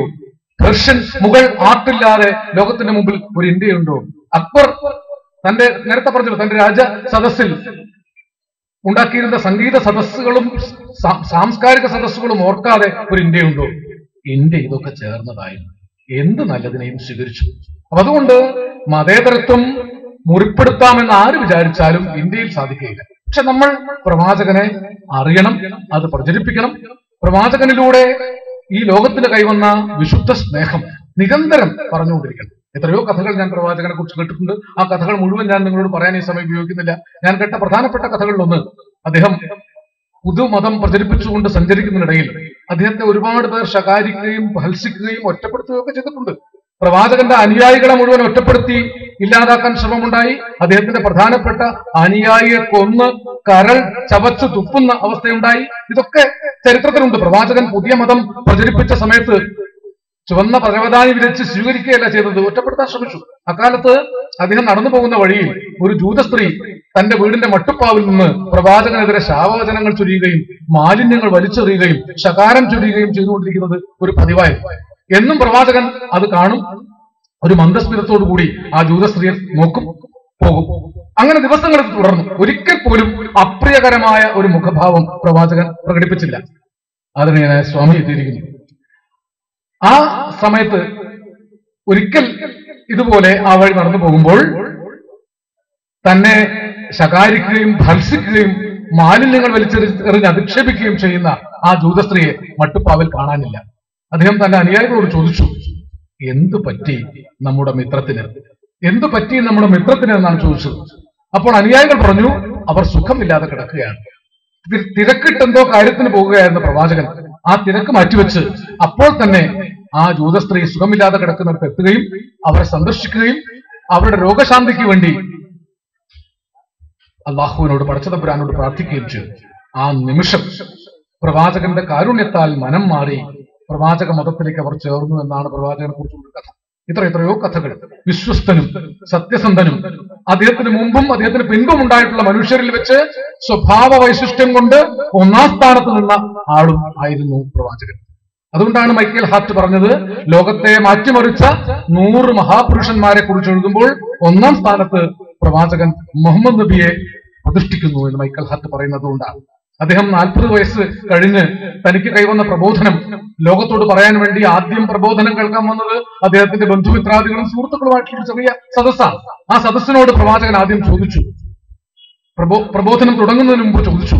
പ്രിയമുള്ളവരെ ഈ കാണുന്ന സഭാമലയുടെ പിന്നിൽ നിന്ന് പിന്നിൽ ഇപ്പോൾ നിങ്ങളെ ആക്രമിക്കാൻ ഒരു സൈന്യം തയ്യാറായി നിൽക്കുന്നുണ്ട് എന്ന് ഞാൻ പറഞ്ഞാൽ നിങ്ങൾ വിശ്വസിക്കുമോ? അപ്പൊ അവിടെ കൂടിയിരുന്ന ആളുകൾ ഒന്നടങ്കം ഒരേ ശബ്ദത്തിൽ പറഞ്ഞു പ്രവാചകരെ മുഹമ്മദെ അങ്ങ് പറഞ്ഞാൽ ഞങ്ങൾ വിശ്വസിക്കും. കാരണം അങ്ങ് അൽ അമീൻ ആണ്. അൽ അമീൻ സത്യസന്ധൻ വിശ്വസ്തൻ പരിപൂർണമായും സ്വഭാവശുദ്ധിയോടുകൂടി ഒരു ജനതയെ സ്വാധീനിച്ച മഹാപുരുഷനായതുകൊണ്ടാണ് അദ്ദേഹത്തിന്റെ പ്രബോധനങ്ങൾ ആളുകൾ ചെവിക്കൊണ്ടത് അതായിരുന്നു പ്രവാചകൻ കാണിച്ചു കൊടുത്ത മാതൃ മാതൃക. സ്വജീവിതമായിരുന്നു അദ്ദേഹത്തിന്റെ സന്ദേശം. നമ്മുടെ രാഷ്ട്രപിതാവായ മഹാത്മജി എന്റെ ജീവിതമാണ് എന്റെ സന്ദേശം എന്ന മഹത്തായ സന്ദേശം കടം കൊണ്ടത് പ്രവാചകന്റെ ജീവിതത്തിൽ നിന്നാണ്. പ്രവാചകൻ തന്റെ ജീവിതം സന്ദേശമായി ലോകത്തിന് സമർപ്പിച്ചു.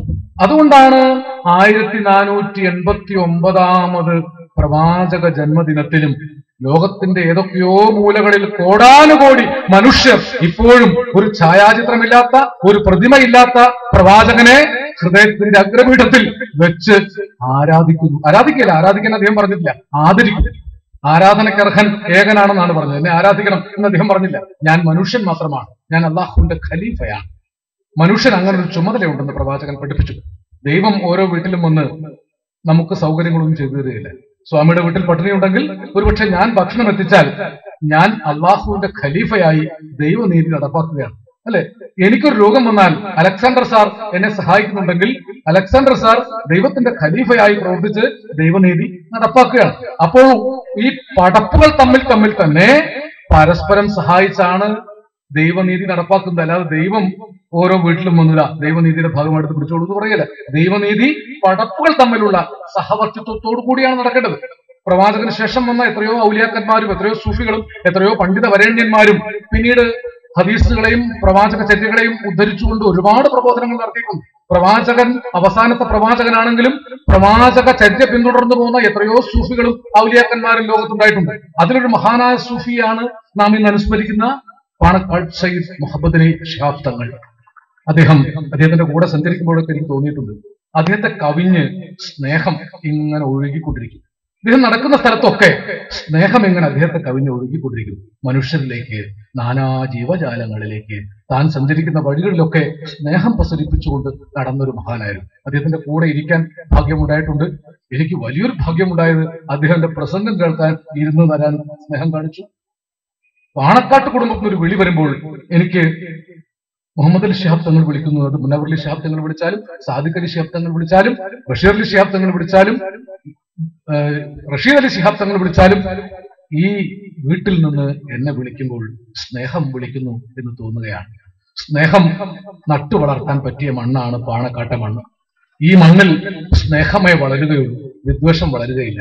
അതുകൊണ്ട് ഇവിടെ വരുമ്പോൾ ഞങ്ങൾ പാണക്കാട് സയ്യിദ് മുഹമ്മദ് അലി ഷിഹാബ് തങ്ങളെ ഓർക്കുന്നു. അദ്ദേഹത്തിന്റെ പിതാവായിരുന്ന P S M A Pookoya തങ്ങളെ അതിനും അപ്പുറത്തുള്ള സയ്യിദ് അലി പൂക്കോയ തങ്ങളെ ആറ്റക്കോയ തങ്ങളെ അല്ലെ? എത്രയോ പരമ്പരകൾ ഈ വലിയ പാരമ്പര്യമാണ്. ആറ്റക്കോയ തങ്ങളെ ബ്രിട്ടീഷുകാർ നാടുകടത്തുകയായിരുന്നു വെല്ലൂരിലേക്ക് നാട് കടത്തി അല്ലേ? അദ്ദേഹത്തെ അക്കാലത്ത് ഞാൻ കേട്ടിട്ടുള്ള കഥ. അത് എത്രമാത്രം വിശ്വസനീയമാണെന്ന് അറിയില്ല. അതിശോക്തി കലർന്നതാകും. മുസ്ലിങ്ങളും ബ്രിട്ടീഷ് പട്ടാളവും തമ്മിലുള്ള ഏറ്റുമുട്ടലിൽ ഒരുപാട് മുസ്ലിം ഭടന്മാരെ പട്ടാളക്കാർ വെടിവെച്ചു. പക്ഷെ ഒരാൾ മാത്രം മരിക്കുന്നില്ല. അയാൾക്ക് വെടിവെക്കുന്നൊന്നും ഏൽക്കുന്നില്ല. അവസാനം പിടിച്ചു കെട്ടി ചോദിച്ചപ്പോൾ പലതവണ ഭേദം ചെയ്തപ്പോൾ പറഞ്ഞു എനിക്ക് പാണക്കാട് തങ്ങൾ കെട്ടിത്തന്ന ഒരു ഉറുക്കുണ്ട് അതുകൊണ്ടാണ് വെടികൊള്ളാത്തത്. അപ്പൊ അദ്ദേഹത്തിന്റെ കൈവിൽ ഒരു ഉറുക്കുണ്ട് ഒരു കഥയാണ് കേട്ടോ. എനിക്ക് അറിഞ്ഞുകൂടാ ഉള്ളതാണോ? നുണയാണോ? സത്യമാണോ എന്ന് അറിയില്ല ഈ ഉറുക്ക് തന്നത് പാണക്കാട് തങ്ങളാണ്. പാണക്കാട് തങ്ങളെ അറസ്റ്റ് ചെയ്യണമെന്ന് ബ്രിട്ടീഷ് കമാൻഡന്റ് ഉത്തരവ് പുറപ്പെടുവിച്ചു പക്ഷെ പാണക്കാട് തങ്ങളെ അറസ്റ്റ് ചെയ്യാൻ ആർക്കെങ്കിലും ധൈര്യം വരും? അന്നത്തെ കാലത്ത് തന്നെ ആറ്റക്കോയത്തങ്ങൾ വളരെ ജനങ്ങളുടെ കണ്ണിലൂടെയാണ് ആരും അറസ്റ്റ് ചെയ്യാൻ തയ്യാറായില്ല. അവസാനം നിർബന്ധമായിട്ട് പറഞ്ഞു. ചിലരൊക്കെ പോയി പറഞ്ഞ ഒരു കാര്യം മതി തങ്ങളല്ല ഉറുക്ക് കെട്ടി കൊടുത്തതെന്ന് പറഞ്ഞാൽ മതി. നമുക്ക് അറസ്റ്റ് ചെയ്യാതെ ഒഴിവാക്കാം. പോലീസുകാർ തന്നെ പോയിട്ട് തന്ത്രം പറഞ്ഞു. പക്ഷെ പോയി തങ്ങൾ പറഞ്ഞു. ഉറുക്ക് കെട്ടി കൊടുത്തത് ഞാനാണ്. സത്യവിരോധം ഞാൻ പറയുകയില്ല. എന്നെ അറസ്റ്റ് ചെയ്ത് കൊള്ളട്ടെ. അങ്ങനെ അദ്ദേഹത്തെ വെല്ലൂരിലേക്ക് നാട് കടത്തി എന്നൊരു കഥയുണ്ട്. പക്ഷേ അതിനുശേഷവും പാണക്കാട്ടെ ചൈതന്യത്തിന് യാതൊരു കുറവും വന്നില്ല. മമ്പുറം തങ്ങളും പാണക്കാട്ട് തങ്ങളും കേരള ചരിത്രത്തിൽ സമാനതകളില്ലാത്ത മനുഷ്യ സ്നേഹത്തിന്റെ മഹാസാന്നിധ്യങ്ങളാണ്. ഈ മണ്ണിൽ നാം പ്രവാചകനെ അനുസ്മരിക്കാൻ ശാന്തിയുടെ ദൂതനായ പ്രവാചകനെ അനുസ്മരിക്കാൻ ഒത്തുകൂടുമ്പോൾ അവരുടെ അനുഗ്രഹം ഇവിടെ ഉണ്ട് എന്നാണ് എന്റെ വിശ്വാസം. പ്രവാചകൻ യുദ്ധം നടത്തേണ്ടി വന്നയാളാണ്. ബദറിൽ യുദ്ധം വേണ്ടി വന്നു. യുദ്ധം വേണ്ടി വന്നത് പ്രതിരോധത്തിന് വേണ്ടിയാണ്.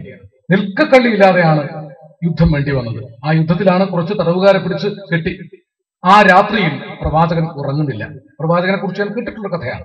രാത്രിയിൽ ഉറങ്ങുന്ന സമയമായിട്ടും പ്രവാചകൻ ഉറങ്ങാതെ അങ്ങോട്ടും ഇങ്ങോട്ടും അസ്വസ്ഥനായി നടക്കുകയാണ്. അപ്പോൾ അനുയായികൾ ആരോ പറഞ്ഞു പ്രവാചകരെ അങ്ങ് എന്താണ് ഉറങ്ങാത്തത്? പ്രവാചകൻ പറഞ്ഞു ഉറക്കം വരുന്നില്ല. ആരോ കരയുന്നുണ്ട്. അനുയായികൾ അവിടെയൊക്കെ പോയി അന്വേഷിച്ചു വന്നു ഇല്ല പ്രവാചകരെ ആരും എവിടെയും കരയുന്നില്ല.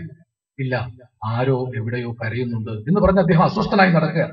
അങ്ങനെ അനുയായികൾ അന്വേഷിച്ച് ദൂരെ പോയപ്പോൾ പിടിച്ചു കെട്ടിയ ഈ ശത്രു പടയാളികൾ അവരുടെ കയ്യെ പിടിച്ച് കൂട്ടിക്കെട്ടിയിട്ടാണ് പാളയത്തിൽ പാർപ്പിച്ചിരിക്കുന്നത്. അവർ ഉറങ്ങുകയാണ്. ഉറങ്ങുമ്പോൾ പോലും കൈകൾ കെട്ടിയതിനാൽ ചില അസ്വാസ്ഥ്യം ഉണ്ടാവുകയും ഇടയ്ക്ക് ഞെരങ്ങുകയും ചെയ്തു. ആ ഞെരക്കം കേട്ടിട്ടാണ് പ്രവാചകൻ ഉറക്കം വരാത്തത്. അനുയായികൾ ചെന്ന് പറഞ്ഞു ആകെ ഒരു കരച്ചിലുള്ളത് നമ്മുടെ ശത്രുക്കളുടെ ഞെരക്കമാണ്. അവരുടെ കൈ കെട്ടിയതുകൊണ്ട് അവർ ഞെരങ്ങുന്നുണ്ട്. അവരുടെ കൈകളുടെ കെട്ടഴിച്ചു വിടൂ എന്ന് പ്രവാചകൻ പറഞ്ഞു. അയ്യോ പ്രവാചകരെ അവർ ശത്രുക്കളല്ലേ? എന്ന് അനുയായികൾ ചോദിച്ചു. അല്ല അവർ നമ്മുടെ മിത്രങ്ങളാണ് എന്ന് അദ്ദേഹം പറഞ്ഞു. ആ കെട്ടുകൾ അഴിച്ചു കഴിഞ്ഞപ്പോൾ ആ നിരക്കം നിലച്ചപ്പോൾ പ്രവാചകൻ സമാധാനത്തോടുകൂടി ഉറങ്ങി എന്ന് ചരിത്രം പറയുന്നു. അനിവാര്യമായ ഒരു യുദ്ധം വേണ്ടി വന്നപ്പോൾ പോലും പരമ പരമകാരുണ്യത്തോടുകൂടി പെരുമാറിയ ഒരു മഹാന്റെ വിശ്വാസം മഹാൻ പ്രചരിപ്പിച്ച മതം ഈ നാട്ടിൽ അസമാധാനം വിതയ്ക്കുകയില്ല എന്ന് എനിക്ക് ഉറച്ച വിശ്വാസമാണ്. അതിനെനിക്ക് എന്റെ കൂടെ ജീവിച്ച സത്യവിശ്വാസികളായ അത്രയൊന്നും പ്രശസ്തരല്ലാതെ പോയ എന്റെ എം വി മുഹമ്മദും എന്റെ അൻവറും എന്റെ അബ്ദുള്ളക്കുട്ടിയും എന്റെ കുഞ്ഞാണി എന്ന പരിയക്കുട്ടിയും ഇതൊക്കെ എന്റെ വീട്ടിന്റെ ചുറ്റുമുള്ള ആളുകളാണ് അവരെയൊക്കെ ദിവസവും ഞാൻ കാണുന്നത്. ഞാൻ സ്കൂളിൽ പഠിക്കുമ്പോൾ ഈ എം വി മുഹമ്മദാണ് വടി കൊണ്ട് മാങ്ങെറിഞ്ഞ് വീഴ്ത്തുക ഞങ്ങളൊരു ബെഞ്ചിന്റെ മുകളിലായിരിക്കും എം വി മുഹമ്മദ് വാസുദേവൻ നമ്പൂരി രേത്തു ടീച്ചർമാൻ ജോസുട്ടി കോരക്കുട്ടി ഞങ്ങൾ ആറ് പേര് ഒരു ബെഞ്ചിന്റെ മുകളിലായിരുന്നില്ല? അപ്പൊ അന്ന് വടി കൊണ്ടെറിഞ്ഞ് മാങ്ങ വീഴ്ത്താൻ കഴിയുന്ന ഒരേ ഒരാൾ എം പി മുഹമ്മദാണ് മുഹമ്മദ് വടികൊണ്ടെറിഞ്ഞ് പച്ചമാങ്ങ വീഴ്ത്തി കിട്ടിയാൽ അവനൊരു അവകാശമുണ്ട്. ആദ്യം അവന് കടിക്കണം. അവനാണല്ലോ എറിഞ്ഞ് വീഴ്ത്തിയത് അവനത് കടിക്കുന്നത് മാത്രമല്ല അവന്റെ മുണ്ടിന്റെ തരപ്പിൽ അന്ന് കല്ലുപ്പ് പൊതിഞ്ഞു വെച്ചിട്ടുണ്ടായി. അന്ന് അയഡൈസ് ചെയ്യപ്പെട്ട ഉപ്പൊന്നുമില്ല. കല്ലുപ്പാണ്. ഇത് കടിച്ചിട്ട് കല്ലുപ്പിൽ ഒരു കുത്തു കുത്തും. എന്നിട്ട് വീണ്ടും കടിക്കും. ഈ ഉപ്പ് കല്ലുപ്പ് കുത്തി പച്ചമാങ്ങ കഴിക്കുന്നത് പോലെ ഇത്രയും സ്വാദുള്ള ഒരു ഭക്ഷണം ഞാൻ ജീവിതത്തിൽ കഴിച്ചിട്ട് ആലോചിക്കുമ്പോൾ എന്റെ വായിൽ വെള്ളം വരും. എന്നിട്ട് കടിക്ക് മാത്രമല്ല മുഹമ്മദ് ഒരു അഭിനയമൊക്കെ എന്നൊക്കെ പറഞ്ഞു അതിന്റെ പുളിയും സ്വാദും ഒക്കെ അഭിനയിച്ച് കളിക്കും അപ്പോഴത്തേക്കും ഞങ്ങൾക്ക് നുണത്തം സഹിക്കാൻ വയ്യ. ഈ നുണത്തക്കാരിൽ നുണത്തക്കാരനായിരുന്ന വാസുദേവൻ നമ്പൂരി പിന്നീട് ഗുരുവായൂർ മേശാന്തി ഒക്കെ അയാളാണ്. വാസുദേവൻ നമ്പൂരി പറയും മുഹമ്മദേ താൻ കടിച്ചാൽ എനിക്ക് കടിക്കാൻ പാടില്ല എന്നാണ്. എന്നാലും ഇവിടെ വരികയെന്ന് പറഞ്ഞു മുഹമ്മദ് കടിച്ച മാങ്ങ ഒരു പിടുത്തം പിടിച്ച് ഈ വാസുദേവൻ നമ്പൂരി കടിക്കും അത് കോരക്കുട്ടിക്ക് കൊടുക്കും അത് ജോസൂട്ടിക്ക് കൊടുക്കും. അങ്ങനെ ഊമിനീര് പങ്കുവെച്ചാണ് ഞാനും മുഹമ്മദും ജോസുകുട്ടിയും വളർന്നത്. അതുകൊണ്ട് ഒരു പ്രയോജനമുണ്ടായത് ഈ രാജ്യത്ത് ഏത് വർഗീയത വന്നാലും ഏത് ഫാഷിസം വന്നാലും എന്നെയും മുഹമ്മദിനെയും വേറെയാക്കാൻ ലോകത്തിലൊരു ശക്തിക്കും സാധിക്കുകയില്ല എന്ന് നെഞ്ചിൽ കൈവച്ച് ഞാൻ പറയും. അത് എന്റെ ആത്മാവിന്റെ സാക്ഷ്യമാണ്. അത് പറയാനാണ് ഞാനിവിടെ വന്നത്. ഞാൻ അങ്ങേയറ്റം ആദരിച്ചുകൊണ്ടിരുന്ന പണക്കാട് സയ്യിദ് മുഹമ്മദ് അലി ശിഹാബ് തങ്ങളുടെ ദീപ്ത ദീപ്തമായ സ്നേഹമസൃണമായ കാരുണ്യപൂർണമായ മുഖം ഇപ്പോഴും എന്റെ മനസ്സിൽ തെളിയുകയാണ്. അദ്ദേഹത്തിന്റെ മുമ്പിൽ ഈ വാക്കുകൾ ഞാൻ സമർപ്പിക്കുന്നു. നിങ്ങൾക്കെല്ലാം നമുക്കെല്ലാം നല്ലത് വരട്ടെ. നമുക്കെല്ലാം ഒരുമിച്ച് ജീവിക്കാൻ സാധിക്കുന്ന ഒരു നല്ല നാടായി ഇന്ത്യ എന്നും നിലനിൽക്കട്ടെ എന്ന് ആശിച്ചുകൊണ്ടും ആശംസിച്ചുകൊണ്ടും എന്റെ വാക്കുകൾ അവസാനിപ്പിക്കുന്നു. സൗഹൃദത്തിന്റെ സുഗന്ധം പടർത്തി ഈ സംഗമത്തെ അലങ്കൃതമാക്കിയ ആലങ്കോടിന്റെ നല്ല നല്ല വാക്കുകൾക്ക് നന്ദി. അടുത്തതായി കോഴിക്കോട് കാമി പാരമ്പര്യത്തിന്റെ വിശിഷ്ട കണ്ണി. അഭിമന്യനായ സയ്യിദ് മുഹമ്മദ് കോയ തങ്ങൾ ജമലലേലി നമ്മുടെ സദസ്സിലെത്തിയിട്ടുണ്ട്. ബഹുമാനപ്പെട്ടവർക്ക് തങ്ങൾ കുടുംബത്തിന്റെ പേരിലും സ്കൂളിന്റെ പേരിലും കൃതജ്ഞത രേഖപ്പെടുത്തുന്നു. സാധാരണ നമ്മളെ അലങ്കോടിന്റെ പ്രഭാഷണത്തിൽ ശാന്തതയാണ് കേൾക്കാറുള്ളത്.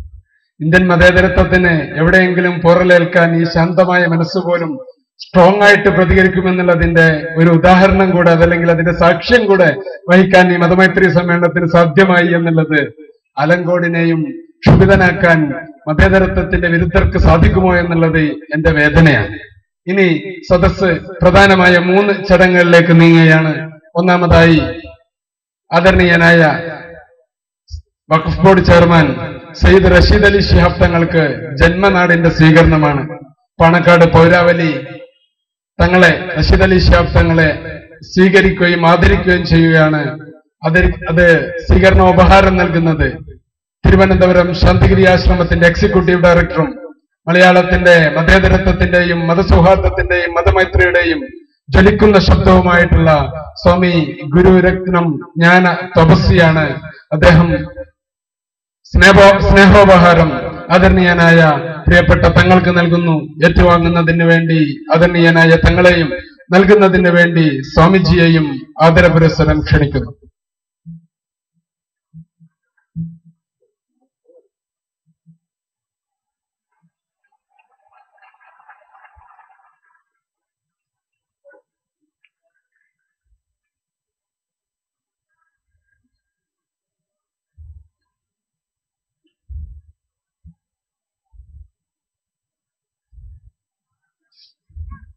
അറബിയിൽ ഒരു ചൊല്ലുണ്ട്. അൽ വലതു സിൻഫു വാലിദ്. പിതാവ് പുത്രൻ പിതാവിന്റെ റിപ്ലിക്കയാണ്. ആദരണീയനായ സയ്യിദ് ഉമർ അലി ശിഹാബ് തങ്ങൾ വഖഫ് ബോർഡ് ചെയർമാനായിരുന്ന സമയത്ത് തങ്ങളുടെ ചിരകാല സ്വപ്നമായിരുന്നു മുത്താലിമുകൾക്ക് മതവിദ്യാഭ്യാസം നൽകുന്ന വിദ്യാർത്ഥികൾക്ക് വേണ്ടിയുള്ള സ്കോളർഷിപ്പ് ഉമർ അലി ശിഹാബ് തങ്ങൾ ചെയർമാനായിരുന്ന സമയത്ത് തുടങ്ങിവെച്ച പദ്ധതി പിൽക്കാലത്ത് വന്ന ബോർഡ് വേണ്ട വിധം പരിഗണിക്കാതിരുന്നത് കൊണ്ട് മുടങ്ങിക്കിടക്കുകയാണ്. അത് വീണ്ടും പുനരാരംഭിക്കണമെന്നുള്ള S K S S F തലബാവിംഗിന്റെ സംസ്ഥാന കമ്മിറ്റിയുടെ നിവേദനം ആദരണീയനായ എസ് കെ എസ് എസ് എഫിന്റെ സംസ്ഥാന ജനറൽ സെക്രട്ടറി ഉസ്താദ് ഓണംപള്ളി മുഹമ്മദ് ഫൈസി. ബഹുമാനപ്പെട്ട റഷീദ് അലി ഷിയാബ് തങ്ങൾക്ക് കൈമാറുന്നു. നിവേദനം കൈമാറുന്നതിന് വേണ്ടി ഉസ്താദിനെയും ഏറ്റുവാങ്ങുന്നതിന് വേണ്ടി തങ്ങളെയും ക്ഷണിക്കുകയാണ്.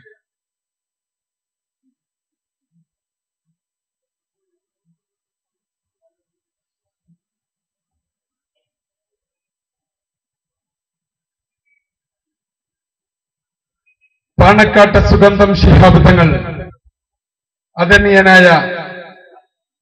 സയ്യിദ് മർഹൂം സയ്യിദ് മുഹമ്മദ് അലി ശിഹാബ്ദങ്ങളെ സംബന്ധിച്ചുള്ള ജലീൽ റഹ്മാനി വാണിയന്നൂരിന്റെ പ്രഭാഷണ സീഡിയുടെ പ്രകാശനം നടക്കുകയാണ്. പ്രകാശനം നിർവഹിക്കുന്നത് സമാദരണീയനായ സയ്യിദ് അബ്ബാസ് അലി ശിഹാബ്ദങ്ങളും ഏറ്റുവാങ്ങുന്നത് പാലത്തായി മൊയ്തു ഹാജിയുമാണ്. നൽകുന്നതിന് വേണ്ടിയിട്ട് ബഹുമാനപ്പെട്ട അലി ഏറ്റുവാങ്ങുന്നതിന് വേണ്ടി മൊയ്തു ഹാജിയെയും ആദരപുരസ്സരം ക്ഷണിക്കുന്നു.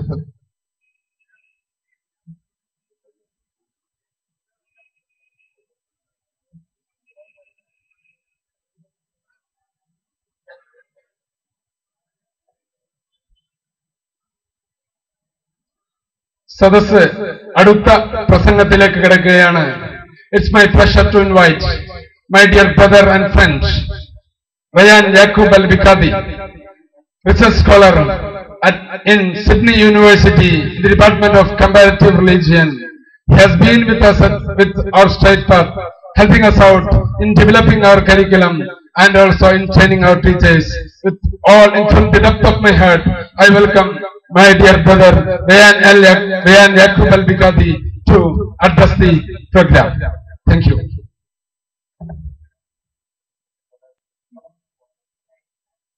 أعوذ بالله من الشيطان الرجيم السلام عليكم ورحمة الله وبركاته Namaskaram, Shlama, peace. Notable uh, Tangal Sayyid Hamid Ali Shihab, I thank you for your invitation, as well as also the, C- uh, the CEO Haris Madabali. And I'm very humbled to be here in Kerala for this very historic occasion of interfaith dialogue. Of course, you know better than myself that Kerala has been an example of coexistence for thousands of years. There is a reason why we say Kerala Dewatinde Sondamnara. It's not just because of the environment, which is also beautiful, but it's because of Sneham, the love between people here in this place. Of course, in this region, there have been a variety of places of devotion for a long time, both localized, indigenous, and also welcome foreigners who have come and settled here, escaping from more hostile regions. For example, the early Nazrani Christian community from Palestine, which we recognize as the Mar Thoma community. Jewish communities, which were, of course, in Cochin, and even Mazdakites from Persia, who were persecuted by some heavy Zoroastrian politics. The problem in the world today is not religion.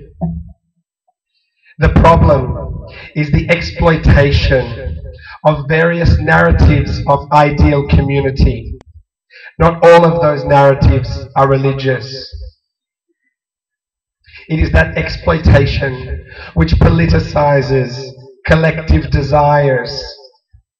Sometimes the desires are motivated by greed.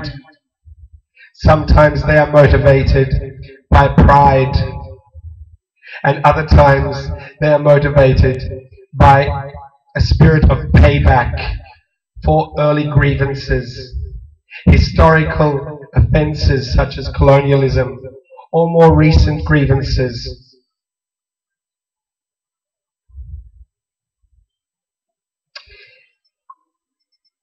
In the last 15 years, I have had the privilege to attend many interfaith functions some of them in Australia, some of them in Indonesia and in Malaysia. Even tonight I've heard mention of Indonesia and Malaysia, which is correct. Because similar to South India, Indonesia and Malaysia have had a long history of coexistence. And sadly, there have been obviously some disruptions to that coexistence. In 2002 to 2003, I attended an interfaith conference on the island of Lombok in the region of Nusa Tenggara, East Nusa Tenggara. The conference was begun to address an incident which had occurred on the island in 2001. Sadly, some non-Muslims were attacked by provocators on the island of Lombok. It was a shock to the region in the eastern part of Indonesia because it was an anomaly.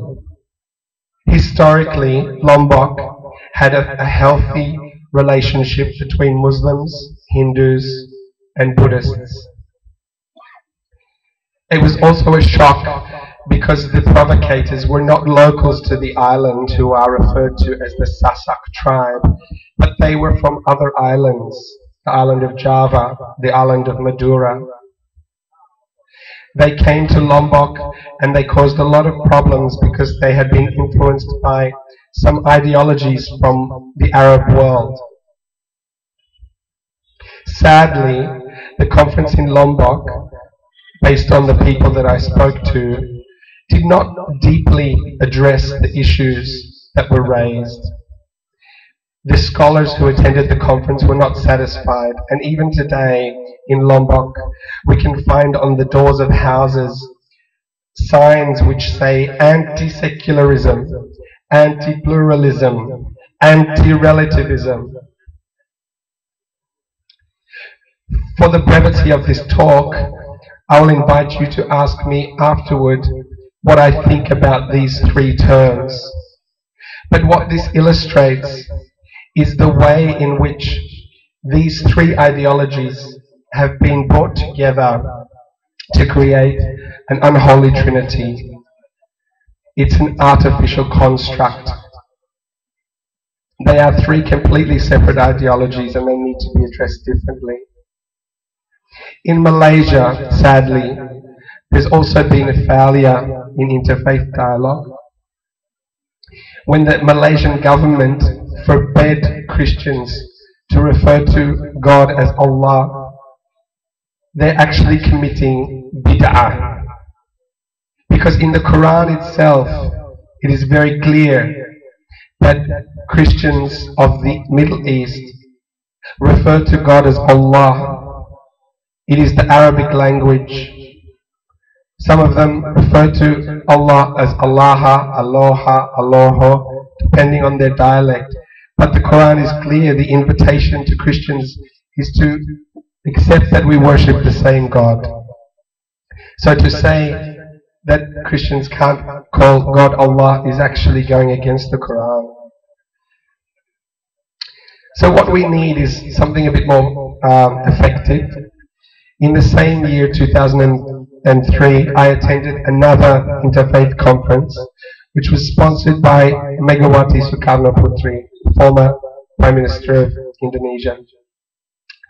It was much more effective and it addressed the problems much more deeply.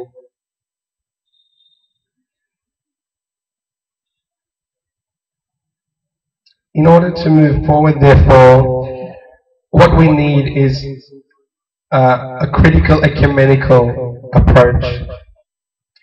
In the Indian constitution, not only do you share the, the vision of diversity and unity, also the importance of uh, to thinking scientifically. That is part of your constitution, is to think scientifically.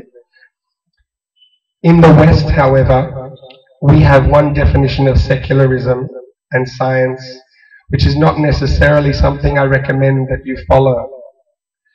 In India, you have a, um, a philosopher who has said that there can be a rationality without being rationalistic, and an, empiric, an empirical approach without being empiricist. The kind of secularism that that India should be uh, approaching should be one which allows for the voice of religion and doesn't silence that voice. By faith as Muslims, we believe that Islam started with Adam, Adam salam. The name Adam reverberates in many other traditions. In the Hindu scriptures, we have mention of Adam, Adama, Manosh, Manu. We, and in many traditions of the world, we have this uh, this story of the first man. And and although we believe as Muslims that Islam began with Adam, historically, the first mention of the word Muslim is found in a text from Iraq, 1500 BC, 3500 years ago. That word Muslim actually connects to the story of Ibrahim salam, the first textual evidence of the name Muslim before the Quran came to us through the revelation of Jibreel. Ibrahim salam and someone who he worked with in the place called Salem or the, the city of Salem was Melchizedek. Melchizedek translates as king of righteousness and Melchizedek and Ibrahim together brought about a monotheistic community in a city called Salem or Salem. And it's very helpful for us to go back to the meanings of the word Salem, S-L-M in English. But at that time, the language was Canaanite. And each letter was known as Shin, Lamu, Mim. Shin actually uh, addressed an image of what we call goads. Goads are those spikes which you put around the, the farm to keep the domestic animals inside and to keep the wild animals outside. So every time someone in the ancient times heard the letter Shin, they imagined this wall of safety. Lamu referred to an arrow, and the arrow was a symbol of protecting again from enemies that would come to encroach on the camp or on the farm. And Mim symbolized water or tranquility, calmness, and also sustenance and quenching of thirst. So every time, 3,500 years ago, every time somebody heard the word Salem, Salem, Shalom, in Arab, in Hebrew, Shalomo, it evoked this picture of a settlement with water, with peace, with tranquility, with protection. These are the roots of the historical roots of the letters Shi, Lamu, Mim, or Sin, Lam, Mim, Salam. And we need to go back to this and remember that this is what is intended, this is the meanings of those words. So, when you think about that image of a peaceful, tranquil, calm settlement, it's not the image that we get in the media today of Islam. Anybody who is not creating that peace or sustaining that peace does not know Islam. At the time when Muhammad Rasulullah came, it was a very volatile time. There was a lot of conflict. And people were being oppressed and were not allowed to worship God freely. There was a church from the west that came and oppressed people in Arabia. There were Zoroastrians from Persia, they came and oppressed. At that time, the only hope was to create a space for people to freely worship without any intimidation. And that is why in the Quran it says there is no compulsion in religion. And I thank Allah that He sent our Prophet ﷺ to open up that space for that peace and tranquility, for us to worship Allah freely without any oppression. And in the same way, we need to show that peace in our life to those around us.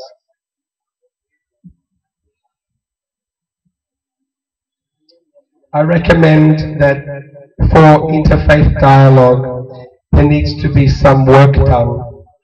There are many good texts that we can translate, and we can also uh, study the ancient languages, and there are many, many other things that we can do. And I really hope that uh, people here in Kerala are able to uh, continue to work together to have open dialogue. And once again, I thank you for this opportunity. Assalamu alaikum wa rahmatullahi wa barakatuh. Thank you very much, sir. It was a great pleasure indeed. And our conference is establishing the idea of what we are here for. And it's nice to have the research scholar in comparative religion in Department of Sydney University. Thank you very much for coming all the way from Australia. Thank you.